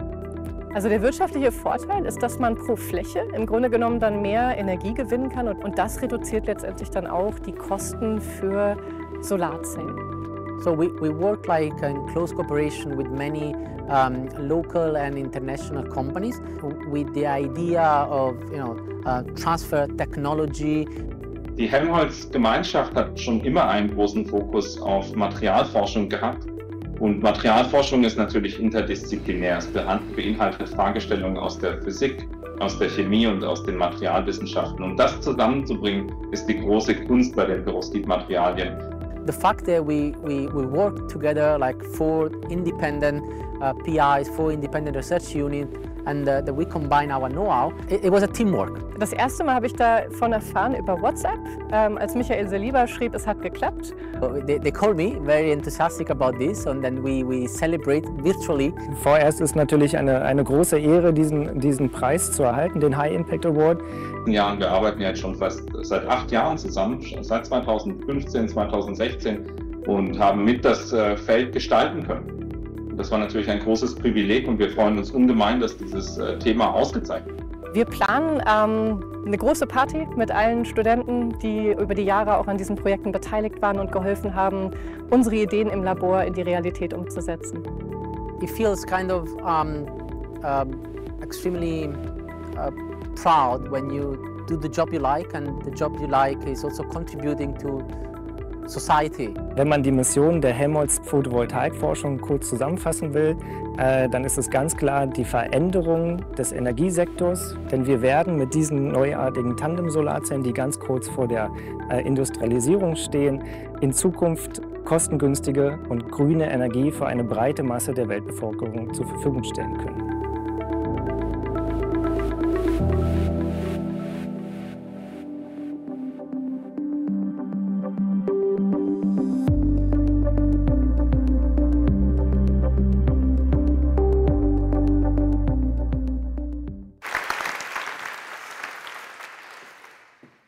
Es ein bisschen anders als beim Oscar. Man weiß vorher schon, wer gewonnen hat. Ähm, ich freue mich, dass der Helmholtz High Impact Award tatsächlich eine schöne Würdigung ist für acht Jahre Teamwork. Mein Hut ziehe ich davor. Und ich darf Ihnen unsere Laudatorin vorstellen. Dr. Carla Seidel heißt sie. Sie ist Chemikerin und bei der BASF als Senior Vice President in der Forschung verantwortlich für Analytik, Materialphysik und Formulierung. Ähm, von ihrer Expertise ähm, profitiert auch das Strategie Advisory Board Energie der Helmholtz-Gemeinschaft. Und in diesem Jahr äh, engagiert sie sich auch in der Jury des High Impact Awards. Ähm, diese Jury konnte sich aus Gründen nur virtuell treffen und ich glaube, es ist für Frau Dr. Seidel eine schöne Freude, dass jetzt das Finale Grande tatsächlich live ist mit Gegenüber und Menschen Partnerschaften, die man auch fühlen kann. Frau Dr. Seidel, ich bin sehr gespannt. Sie werden uns jetzt verraten, was die Jury überzeugt hat.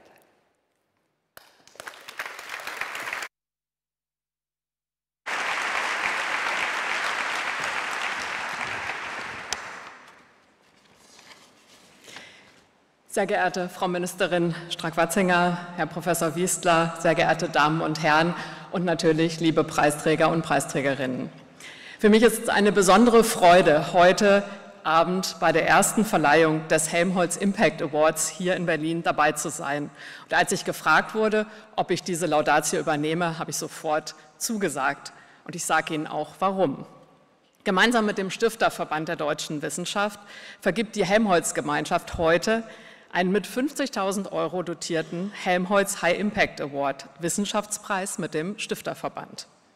Mit diesem Preis werden Talente geehrt, die ganz im Sinne der Helmholtz-Mission äh, Spitzenforschung leisten, über die fachlichen Grenzen hinweg, die großen Herausforderungen dieser Zeit adressierend und die das Potenzial besitzen, wir haben es vorhin gehört, als Gamechanger in ihren relevanten Arbeitsgebieten zu wirken. Sehr geehrte Damen und Herren, wir alle wissen, wir müssen schneller unabhängig werden vom Einsatz und vom Import fossiler Rohstoffe. Damit die Energiewende gelingt, muss auf verschiedenen Ebenen Tempo gemacht werden. Ein besonders relevanter Aspekt ist dabei, dass wir das Sonnenlicht besser als bisher für die Energie nutzen können. Ich würde mein ganzes Geld auf die Sonne und die Solarenergie setzen. Was für eine Energiequelle. Ich hoffe, wir müssen nicht erst bis zur Erschöpfung von Erdöl und Kohle warten, bevor wir das angehen. Das ist jetzt nicht mein Statement, sondern das sagte Thomas Edison, einer der Vordenker der modernen Energiesysteme schon vor 100 Jahren. Um die Photovoltaik heute weiterzubringen, braucht es eine höhere Leistung der Solarzellen, bei gleichzeitig geringeren Kosten. Die Solarzellen der Zukunft müssen hocheffizient sein, sie müssen stabil sein, nachhaltig und in Massenproduktion herzustellen sein. Mit den Perovskit-Tandem-Solarzellen lässt sich das erreichen. Im Labor erreichen sie bereits Rekordwirkungsgrade über 30 Prozent. Und der nächste Schritt ist jetzt, die Technologie schnell in die Anwendung zu bringen. Und mittendrin in diesem Technologiesprung sind unsere Preisträger. Antonio Abate, Steve Albrecht, Michael Saliba und Eva Unger. Jede, jeder für sich eine exzellente Wissenschaftler, eine exzellente Wissenschaftlerin. Im Team vereint sind sie multidisziplinär und ihre akademischen Profile ergänzen sich hervorragend sodass sie ein Maximum an wissenschaftlichem Fachwissen aus den Bereichen Physik, Chemie und Materialwissenschaften ergänzen. Zahlreiche Publikationen in renommierten Journalen, mehr als 20 erteilte Patente und mehr als 30 finanzierte Projekte zeigen dies beeindruckend. Einzeln und gemeinsam haben Sie, liebe Preisträger, zur Entwicklung dieser hochleistungsfähigen, skalierbaren und stabilen Solarzellentechnologie auf Perovskit-Basis beigetragen rekordverdächtige Solarzellendesigns entwickelt und Produktionsprozesse für die Massenproduktion optimiert. Die beeindruckenden Fortschritte sind bahnbrechend. Sie reichen von grundlegenden Erkenntnissen über neue Materialien und deren Umsetzung in innovative Solarzellen bis hin zu den Grundlagen einer potenziell bahnbrechenden Photovoltaiktechnologie und der Anwendung von Digitalisierung und Automatisierung, um die Forschungsarbeiten weiter zu beschleunigen. Besonders beeindruckend ist auch die einzigartige Open Access Datenbank für Perovskit Solarzellen, basierend auf den FAIR-Datenprinzipien. Die Zukunft der Solarzellen wird von Ihnen, liebe Preisträger, neu geschrieben. Ich bin überzeugt, dass Sie mit Ihren Forschungsarbeiten einen großen Beitrag zur nachhaltigen Energieversorgung auch im Kampf gegen den Klimawandel leisten. Und aus dem persönlichen Austausch weiß ich, dass Sie nicht nur großartige Wissenschaftler und Wissenschaftlerinnen sind, sondern engagierende und inspirierende Forschende, die sich nicht weniger vorgenommen haben, als die großen Herausforderungen der Zukunft zu gestalten. Ich gratuliere Ihnen ganz herzlich, auch im Namen der gesamten Jury, zum Helmholtz Award 2023. Herzlichen Glückwunsch und darf Sie auf die Bühne einladen.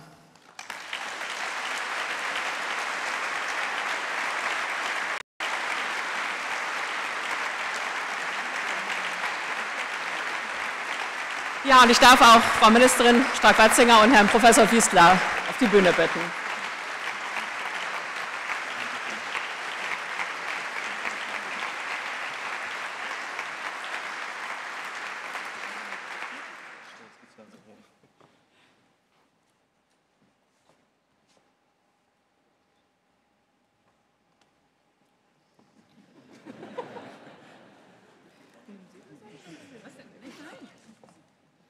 zumindest einmal verlesen. Helmholtz High Impact Award 2023 für die gemeinsame Arbeit zum Thema Fundamental Properties to Record-Breaking Devices an äh, Antonio Abate, Michael Saliba, Steve Albrecht und Eva Unger. Ich habe gehört, Steve Albrecht macht dieser Tage gerade ein 5000er ja, in Georgien. in Georgien und kann deshalb nicht hier sein. Ganz herzlichen Glückwunsch an Sie, Frau Unger.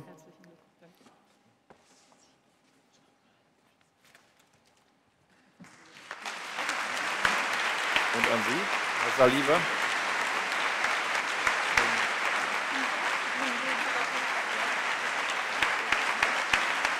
Das ist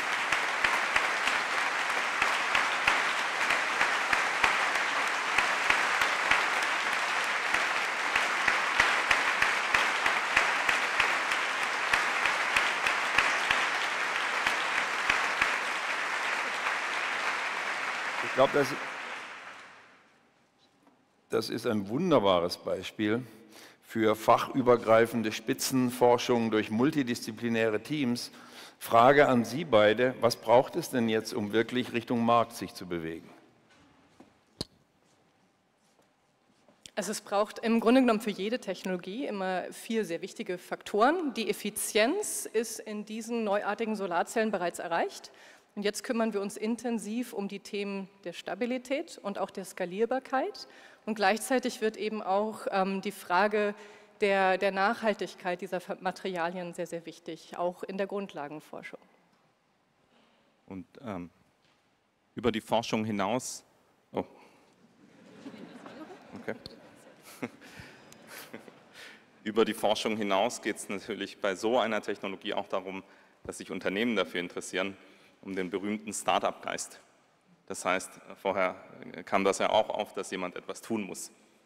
Und das ist ganz wichtig, dass wir nicht nur verkopft in diese Sache hineingehen, sondern dass wir eine gute Start-up-Landschaft ähm, begründen. Gibt es,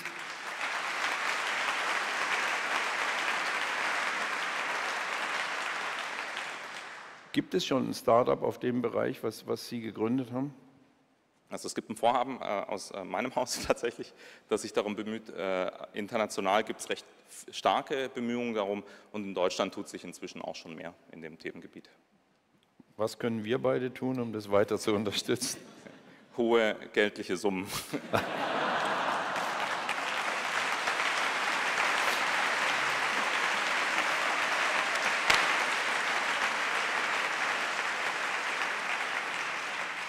Also weiter so und ich glaube, ein möglicher Partner aus der Wirtschaft sitzt ja nachher gleich auf dem äh, Podium. Vielen, vielen Dank, alles Gute und herzlichen Glückwunsch natürlich an das ganze Team.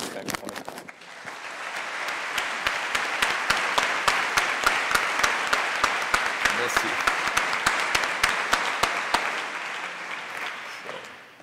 Ja, herzlichen Glückwunsch auch von meiner Seite. Ich würde sagen, Sie haben auch einen 5000er erklommen damit. Grüße an Herrn Albrecht. Dankeschön, Frau Seidel, fürs wunderbare Durchführen. Ja, ich bin sicher, spätestens mit Ihrer Laudatio, Frau Seidel, werden Sie jetzt auch zur Party eingeladen, von der im Film ja schon die Rede war, Frau Unger. Da nehmen wir Sie jetzt beim Wort dass da ordentlich gefeiert wird. Werte Gäste, der High Impact Award ist eine wunderbare Brücke zu unserem Panel, bei dem es ebenfalls um Impact geht, um Partnerschaften, nämlich die auf die Wirksamkeit von Wissenschaft einzahlen, Partnerschaften von ähm, Instituten, untereinander über nationale und kontinentale Grenzen hinweg, aber auch Partnerschaften mit der Wirtschaft und der Wissenschaft. Und ich freue mich auf ein besonders kooperatives Quartett jetzt und bitte zu mir auf die Bühne Maria Leptin, Katja Mattes, Gunther Erfurt und Rolf Hardy. Herzlich willkommen.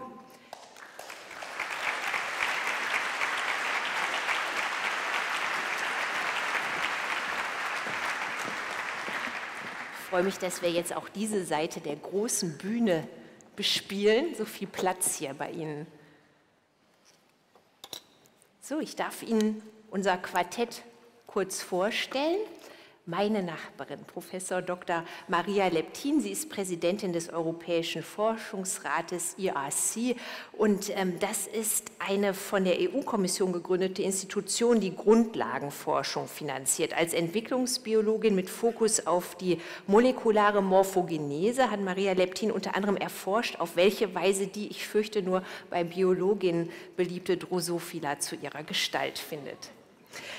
Die langjährige Direktorin der European Molecular Biology Organization hat mit ihrer Expertise unter anderem das Max-Delbrück-Zentrum, das Max-Planck-Institut und das Deutsche Krebsforschungszentrum in Heidelberg, Sie wissen, das ist eines der 18 Helmholtz-Institute, bereichert. Und zu den vielen erfreulichen äh, Partnerschaften gehört für Sie auch der kollegialer Austausch mit theoretischen Physikern, haben Sie mir verraten, über die Grundlagen von Form und Bewegung. Da kann ich mir richtig vorstellen, wie Sie da ins Schwärmen kommen. Ich mache diese Vorstellung deshalb ein bisschen ausführlicher, liebe Gäste, weil das, glaube ich, ganz schön aufzeigt, wie Sie alle vernetzt sind, mit wem Sie schon gearbeitet haben, wie das alles zusammenhängt und deshalb Erlauben Sie mir diese Freude.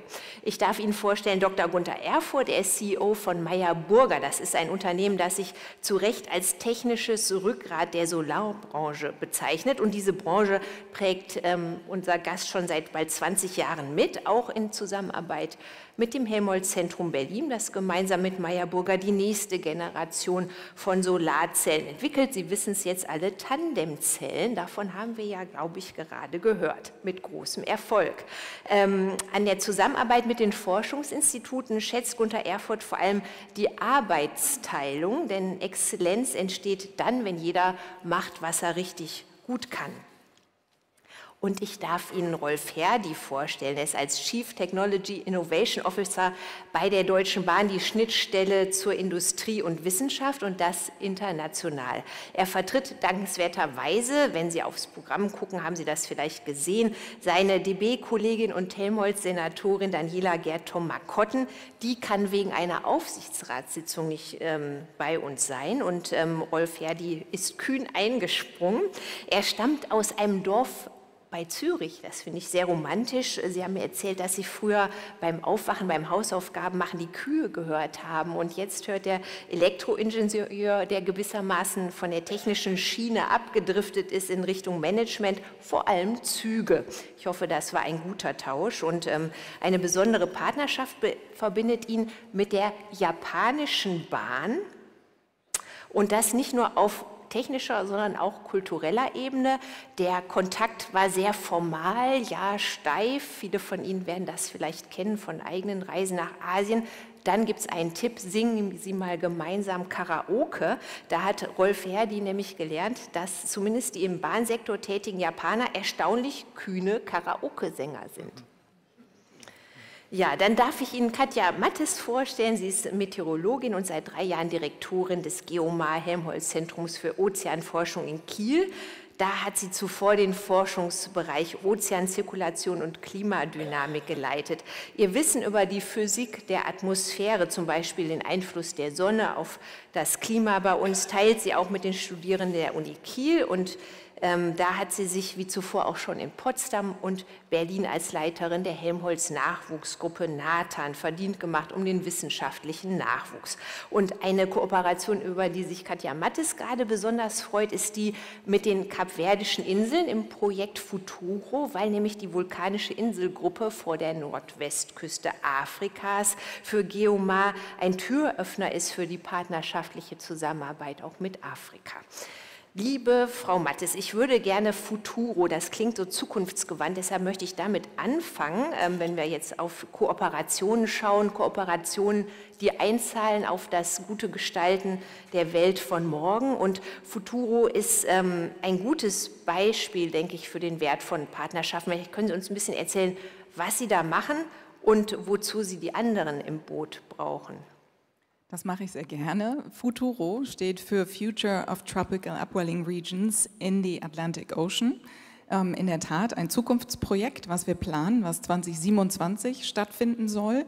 Wir sind seit etwa 20 Jahren aktiv auf den Kapverden. Es gibt eine lange Kooperation und seit 2017 haben wir eine Außenstelle auf den Kapverden, die vom BMBF finanziert ist und gemeinsam mit einem kapverdianischen Institut uns die Möglichkeit bietet, im Hotspot des tropischen Atlantiks präsent zu sein. Und wir nutzen das für wissenschaftliche Kooperationen.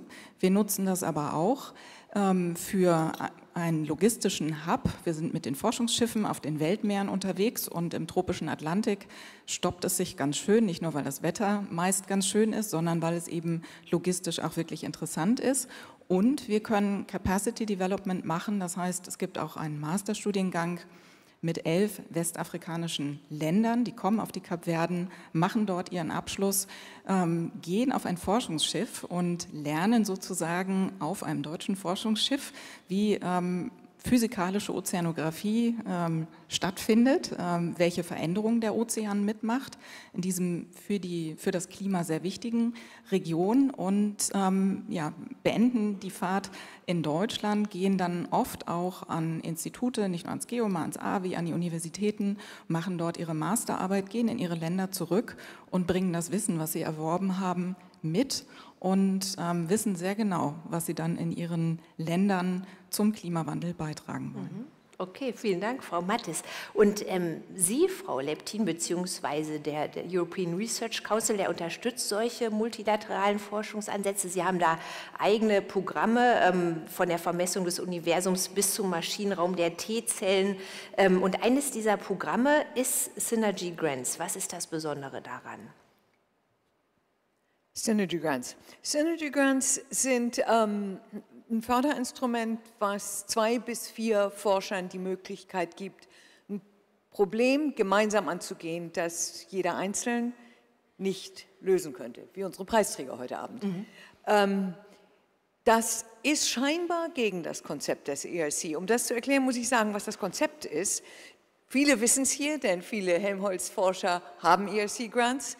Ähm, 300, glaube ich, ne? 387. Ich fühle mich sehr wohl hier in dieser Umgebung. ähm, ja, das Konzept ist ja, einzelne Forscher zu fördern, gut zu fördern, ähm, über fünf Jahre mit äh, anständigen Summen, ähm, basierend auf einer Idee, die von dem Forscher kommt, also total bottom-up. Mhm. Fundamental Forschung. Übrigens nennen wir es Frontier Research. Es ist zwar größtenteils Grundlagenforschung, aber einiges ist auch eine Anwendung. Wir fördern ja ähm, Ingenieure, wir fördern Mediziner. Ähm, aber wie gesagt, das Prinzip ist, Einzelne nur basierend auf der Exzellenz ihrer eigenen Idee zu fördern. Und da hört sich jetzt ein bisschen komisch an, wie so wieder Gruppen. Das wollten wir doch alles loswerden und extra Bedingungen. Ähm, das ist nicht so, denn auch diese, äh, dieses Förderinstrument äh, ähm, belohnt hervorragende Ideen von Einzelnen. In diesem Fall sind es einzelne Forscher, zwei bis vier, die jeder einbringen ähm, ihre eigenen Ideen und in Synergie miteinander. Das ist ganz wichtig. Es ist also wirklich, die müssen ein Problem angehen, was jeder Einzelne nicht lösen könnte. Ähm, dass die dann gefördert werden. Und wir haben heute hier von unseren Politikern und von Herrn Wiesler gehört, ähm, dass die großen Probleme eben dringend Vernetzung brauchen. Und so sehen wir auch wirklich ein starkes Anwachsen ähm, von Anträgen äh, für, dieses Instrument. Mhm. Es ist einfach heutzutage wichtig, dass Leute zusammenarbeiten. Aber es müssen einzelne Forscher mit guten Ideen sein. Okay, vielen Dank. Und viele einzelne Forscherinnen, Sie hatten es gesagt, es sind viele vielleicht auch im Publikum darunter. Die Wahrscheinlichkeit ist nicht gering. Ähm, Ihre Mitarbeiterin hatte nachgeschlagen, 237 Menschen, die bei Helmholtz forschen, unterstützen Sie mit Ihrem Projekt. Dankeschön. Herr Herdi, Sie sind bei der Bahn die personifizierte Schnittstelle von Industrie und Wissenschaft. Und ähm, ich kann das kaum sagen, ohne Ihnen einen kleinen Einblick zu geben in den Raum, wo wir vorhin saßen. Da wurden wir ein bisschen hergerichtet. Und, und Herr Herdi hat ungefähr 60 Minuten Konversation bestritten zum Thema, Sie ahnen es, Probleme der Bahn, technische Herausforderungen. Also auch da ähm, ein wahnsinnig ähm, intensiver Austausch von Wissenschaft und Wirtschaft. Und ähm, Herr Herdi, ich freue mich aber sehr für Sie, dass es auch schönere Formen der Kooperation gibt. Wobei sie sehr wertschätzend behandelt wurden, das möchte ich sagen. Er ist ja auch Schweizer.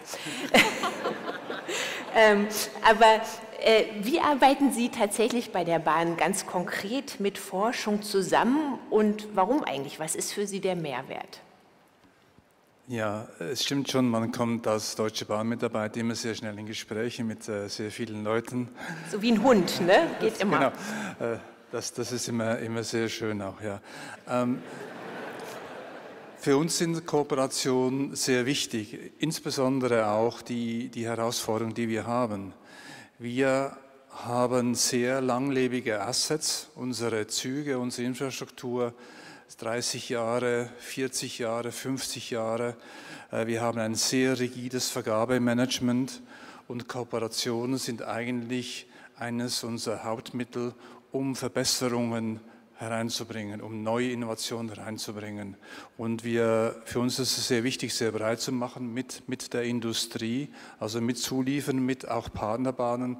Wir gucken bei den Japanern, wir gucken bei, bei, bei den holländischen Kollegen, nicht unbedingt bei den Schweizern, aber das, äh, und das ist, ist, ist, sehr wichtig und natürlich mit, mit den Universitäten, ja. Neue Materialien, Digitalisierung, Cybersecurity, äh, da kommen sehr, sehr, sehr wichtige Inputs. Und es ist für uns auch ein sehr wichtiges Instrument, Talente, neue Kräfte für uns zu gewinnen und für die Bahn zu begeistern, weil Fachkräftemangel ist ein sehr, sehr wichtiges und großes Thema bei uns. Mhm, okay, vielen Dank.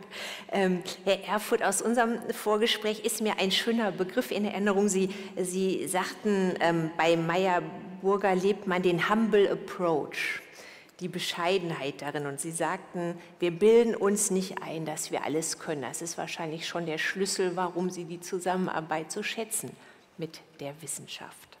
Das hat wahrscheinlich eher was damit zu tun, dass wir ja eine, eine große etablierte Branche sind, die heute mit 95 Prozent ungefähr in China sitzt und China kann das auch sehr gut. Aber, deswegen freue ich mich auch riesig über den, die Preisträger, das Preisträgerteam, das äh, ihr hier ausgezeichnet wurde, denn wir lernen daraus ein was oder sehen daraus ein was, was ein bisschen in der Debatte um den Verlust der Solarindustrie in Deutschland und in Europa so, äh, in den Hintergrund getreten ist. Der Erfolg dieser Industrie ist im weitesten Sinne eine deutsche Geschichte, ein bisschen auch Schweiz. Schweiz hat auch einen großen Anteil mit dran. Ähm, denn die Kosten für Solarzellen, die sind in den letzten Jahren nicht gesunken, weil China so stark skaliert hat, sondern weil die Technologie sich so verbessert hat. Also der Anteil an der Skalierung, an der Kostensenkung, der liegt nur bei 20 Prozent. Und 80 Prozent, das haben wir zum Beispiel dem Team zu verdanken und vielen anderen tollen Forschern in dem Land. Das ist eine Spitzenposition, die wir innehalten. Und äh, wenn man damit ein bisschen im Humble Approach rangeht und sich auf seine Stärken konzentriert und die Politik entsprechend unterstützt, dann kann das Thema auch in Europa wieder industriell sehr, sehr groß werden. Mhm. Also die auch ein wichtiger Partner. Danke. Ich würde gerne ähm, noch in der zweiten Runde gucken, was ähm, Sie für Hürden ähm, sehen, ähm, die vielleicht ein bisschen Ihrer fruchtbaren Partnerschaft im Wege stehen oder um es positiv äh, auszudrücken, was brauchen Sie, um Ihre Stärken voll ausspielen zu können? Gucken wir vielleicht lieber so darauf. Und ähm, Herr Herdi, ähm, bei Ihnen war das, äh, glaube ich, ganz schnell geklärt. Sie haben gesagt, Geld. Geld, Geld und Ressourcen, das ist so. Äh, Der nächste. Wir, wir, wir, wir haben Herausforderungen. Meine Kolleginnen und Kollegen bei der Deutschen Bahn arbeiten sehr hart um das zu verbessern. Wir haben kurzfristige Ziele, wir alle fokussieren daraus. Zusammenarbeit, Partnerschaften braucht auch Betreuung, wir brauchen Ressourcen und das ist eine Herausforderung. Und die limitierten Ressourcen, wie auch das Geld äh, dafür aufzubringen, ist, ist nicht immer einfach. Es ist nicht immer sehr günstig, finanziell mit Universitäten zusammenarbeiten, man braucht Geld dazu. Mhm. Sie haben mir noch was Interessantes erklärt. Ähm, wenn Sie auch beim Konzern um Geld werben, dann müssen Sie ja einen Nutzen darstellen. Ja. Und bei Forschung ist das manchmal gar nicht so leicht, direkt mit unmittelbarem Nutzen zu argumentieren. Ja, insbesondere in der kurzen Zeit. Wir, wir denken sehr oft in der Mittelfristplanung, fünf Jahre, drei Jahre. Und äh, in der Wissenschaft ein Resultat in dieser kurzen Zeit. Wir haben es bei den Solarzellen gesehen. Es braucht einfach Zeit. Ja. Und es, es wäre schön, wenn man den Raum hätte, ein bisschen längerfristiger zu denken. Mhm. Das ist so. Also es braucht neben Geld auch vor allem langen Atem und genau. Zuversicht und Vertrauen in die Auf Kraft der Wissenschaft. Aber wir arbeiten dran. das ist schön. Danke. Ähm, Frau Mattes, Grundlagenforschung, das ist, das ist ja das Thema. Ne? Also wenn, wenn der Nutzen äh, vielleicht noch etwas auf sich warten lässt. Äh, Grundlagenforschung wird oft noch mit Elfenbeinturm verbunden. Das erklärt manche Zögerlichkeit womöglich. Und äh, könnte man sagen, gerade im postfaktischen Zeitalter ist der Transfer in die Praxis besonders wichtig. Der Transfer von wissenschaftlicher Wahrheit. Selbstverständlich. Und man braucht beides. Man braucht die Grundlagenforschung und man braucht die Anwendung und das Handlungswissen. Und der Transfer steht in der Mission der Helmholtz-Gemeinschaft, aber wir merken das an, an vielen Projekten, wo wir einfach die Erkenntnisse, die wir in der Wissenschaft gewonnen haben, umsetzen können und ähm, was zum Beispiel, wenn ich ein Beispiel nennen darf, dazu führt, Munition im Meer. Ähm, da haben wir lange, lange Jahre ähm, versucht oder nicht nur versucht, sondern auch es ist uns gelungen, die Munition zu kartieren, genau zu wissen, wo liegt das. Sind 1,6 Millionen Tonnen in der deutschen Nord- und Ostsee, ein Güterzug von Paris nach Moskau. Und die Bundesregierung ah. hat äh, 100 Millionen Euro jetzt in die Hand genommen, um die Munition zu bergen. Und das ist dank der Forschung, die lange Jahre, auch über acht Jahre, Grundlagenforschung passiert es jetzt möglich, dass man 70 Jahre nach Ende des Zweiten Weltkrieges wirklich anfängt, diese Munition zu bergen. Und ich glaube, das ist ein tolles Beispiel. Andere Beispiele könnte ich auch nennen, aber ich glaube, wir haben leider nicht so viel, mhm. leider nicht so viel Zeit. Ja, es ist ein tolles Beispiel und leider ja auch von großer Aktualität. Dankeschön. Ähm, Frau Leptin, wie könnte sich das wechselseitige Verständnis denn verbessern von akademischer Forschung und Unternehmen, von Wissenschaft und Industrie, damit zum Beispiel Herr Herdi leichter argumentieren kann, wenn er Geld braucht vom Finanzminister der glaub, Bahn? Ich glaube, da so auf direkter Ebene gibt es da überhaupt kein Problem. Sie sagen ja, wir haben uns sehr gut unterhalten vorher ähm, und da gibt es viel Verständnis. Ähm, ich glaube auch, das Verständnis ist allgemein gewachsen. Wir haben ja gesehen, wie Grund, Sie haben es gerade gesagt, Grundlagenforschung ist essentiell für die Anwendung Covid-Vakzin, also Impfstoff ist das allerbeste äh, äh, Beispiel dafür und es gibt viele andere. Ähm, und es wird auch von der Politik gesehen, auch von der Politik in Brüssel. Es gibt den Europäischen Innovationsrat, der Transfer äh, finanziert. Es ist vielleicht, was vielleicht nicht alle wissen, ist, dass von den erfolgreichen äh, Anfangstransferprojekten äh, über die Hälfte, weit über die Hälfte von ehemaligen oder derzeitigen ERC-Grantees kommt. Das heißt, es ist der beste Beweis, dass gesehen wird und einfach eine Demonstration, dass die Anwendung von der Grundlagenforschung lebt. Ich glaube, das ist, da, da, da ist keine Frage, das wird gesehen. Die Frage ist in der Verwirklichung. Ähm, wenn ich mit meinen Kollegen äh, aus meinem Gebiet, den Lebenswissenschaften, rede, da kommen wir wieder auf das Thema Europa. Wer in Portugal was erfindet, hat erstmal eine Anwendung als Markt Portugal und nicht Gesamteuropa. Wer in Boston was erfindet, hat die gesamte USA als Markt. Und da muss wirklich auf europäischer Ebene noch viel, viel mehr geschehen. Und ich bin sicher, da stimmen mir meine Kollegen aus der Industrie auch zu. Dann nicken die. Dann fragen wir mal den Kollegen aus der Industrie. Herr Erfurt, ähm, würden Sie sagen, dass unsere Gesellschaft, unsere Wirtschaft das Potenzial ausschöpft, was in der Spitzenforschung liegt? Ich kann ja vor allem nur über meine eigene Industrie reden und vielleicht ein bisschen über, über die Erneuerbaren. Ähm, dort würde ich sagen, dass Europa sehr weit vorne ist. Wir haben es heute erlebt, aber das gilt auch für andere Bereiche der, der Cleantech-Industrie. Was wir noch nicht gut machen, auf europäischer Ebene nicht und auch nicht in der Bundesrepublik, ist, dass wir auf Basis wirklich einer sehr, sehr strategischen Innovationsförderung, wie gesagt, ich spreche für meine eigene Bubble, äh, die Erneuerbaren, dass wir daraus auch industriell was machen. Die industrielle Wertschöpfung, die Jobs, die strategische Sicherheit, wir haben es vor uns gehört, so viel, so viel Sicherheit wie nötig von Herrn Ischinger. Ich würde das mal in die Wirtschaft übersetzen, äh, in das Zauberwort Resilienz, nämlich auch nichts anderes.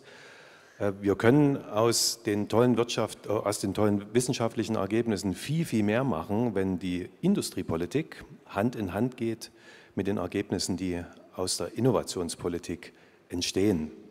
Und dort liegen meiner Meinung nach riesige Potenziale. Also ich bin immer wieder etwas amüsiert als äh, Kurator eines Fraunhofer Instituts, wenn wir da unsere Sitzung haben und dann kommt jedes Mal der CFO und berichtet äh, voller Freude über die Lizenzeinnahmen aus äh, MP3.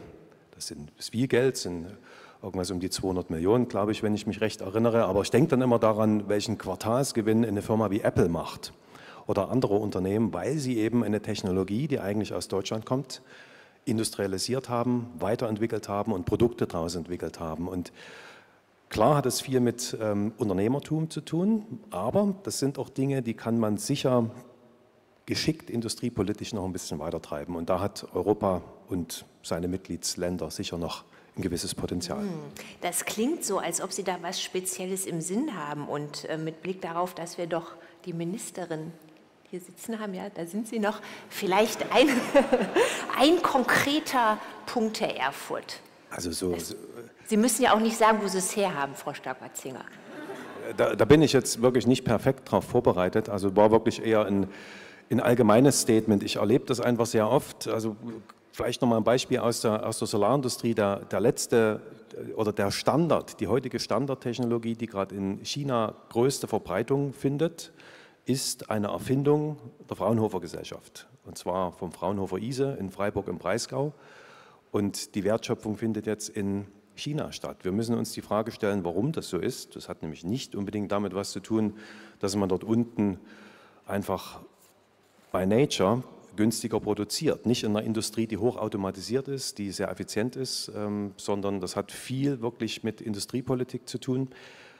Was ich sage, gilt sicher auch nicht unbedingt für jedes Produkt, aber es gibt eben die wirklich sicherheitsrelevanten Produkte, die energiepolitisch relevanten äh, Produkte, die sich vor allem jetzt auch massiv verändern. Also alles, was äh, Cleantech angeht, was, ähm, was Produkte angeht, bei, der, bei, denen wir wirklich Resilienz brauchen, bei denen wir auch sehen, dass natürlich sich geopolitisch einiges bewegt. Inflation Reduction Act ist in aller Munde, was kaum jemand mitkriegt, ist, was Indien macht, mit auch einer doch starken Abschottung im Bereich dieser Märkte. Und Europa hat sich da die Karten noch nicht so richtig gelegt. Ähm, das ist auf der einen Seite nicht gut, auf der anderen Seite haben wir aber jetzt auch die Möglichkeit, mal genau zu gucken, was denn vielleicht in den anderen Regionen nicht ganz so brillant gemacht wurde, weil auch der Inflation Reduction Act viele Dinge beinhaltet, die nicht gut sind und nicht gut für die USA sein werden. Und jetzt könnte man nochmal schauen, äh, man extrahiert the best of the best und macht das Beste daraus für mhm. Europa. Also das Umwandeln in Leapfrogging, die anderen überholen, gerade weil man gerade hinten ist. Guter Ansatz. Dankeschön. Oder auf jeden Fall einer, über den man nachdenken kann. Ich danke Ihnen allen sehr. Frau Mattes, Frau Leptin, Herr Herdi, Gunther Erfurt, herzlichsten Dank. Darf ich, oder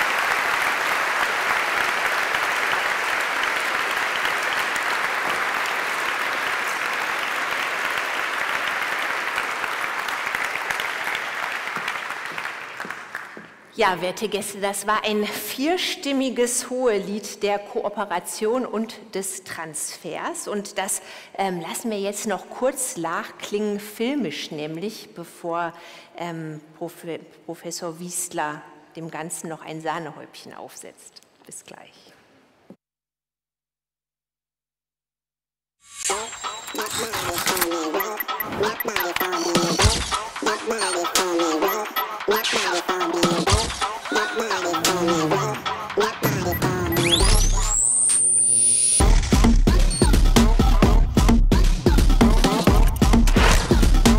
I love these things.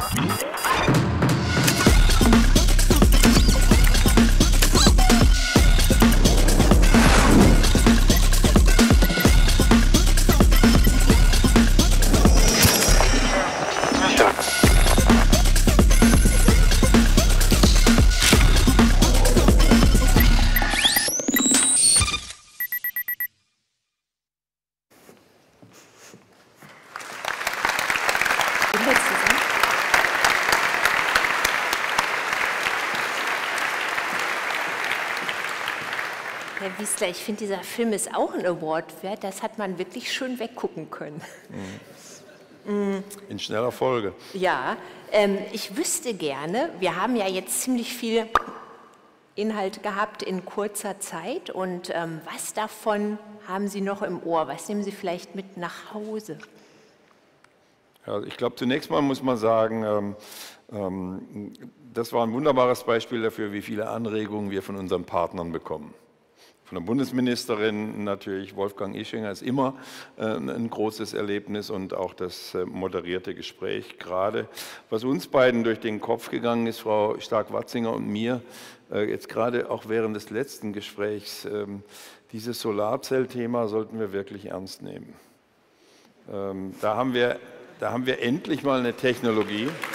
Da hat der Abend ja was gebracht. In, in, in Deutschland entwickelt hocheffizient, mit Rekorden, nah an der Anwendung.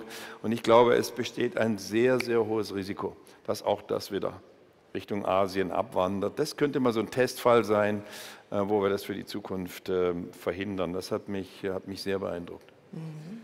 Das kann ich verstehen. Vielleicht können ja Herr Erfurt und die Beteiligten im Laufe des Abends ihren Dialog fortsetzen. Die Frau Seidel vermittelt dann die, die sitzt genau, dazwischen, die, die, die ist die Schnittstelle.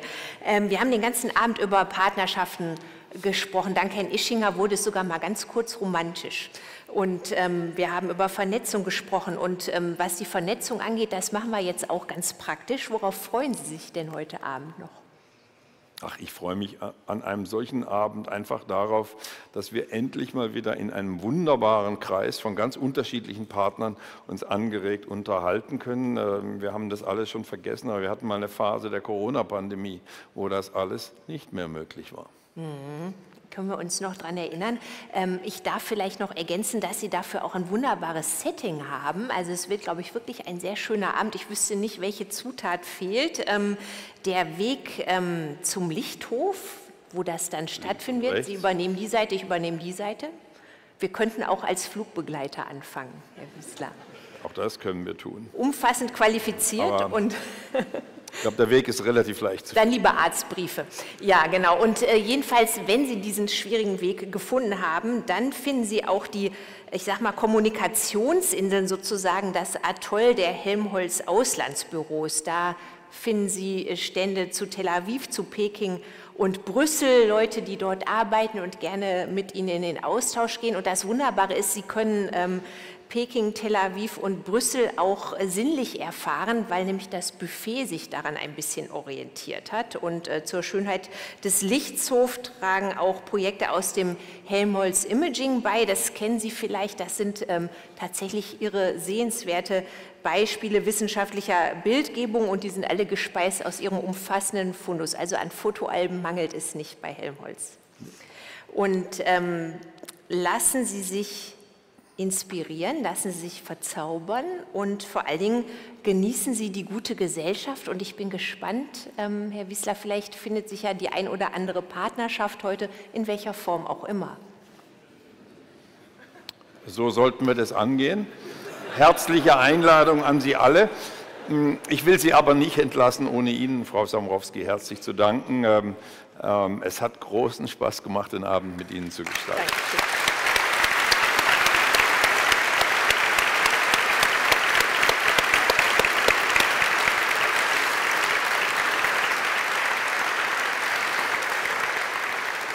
Dankeschön, Herr Wieser. Jetzt fehlen mir mal die Worte. Vielen Dank. Danke. Viel Spaß. Damit sind die Türen geöffnet. So ist es. Merci. War, war großartig.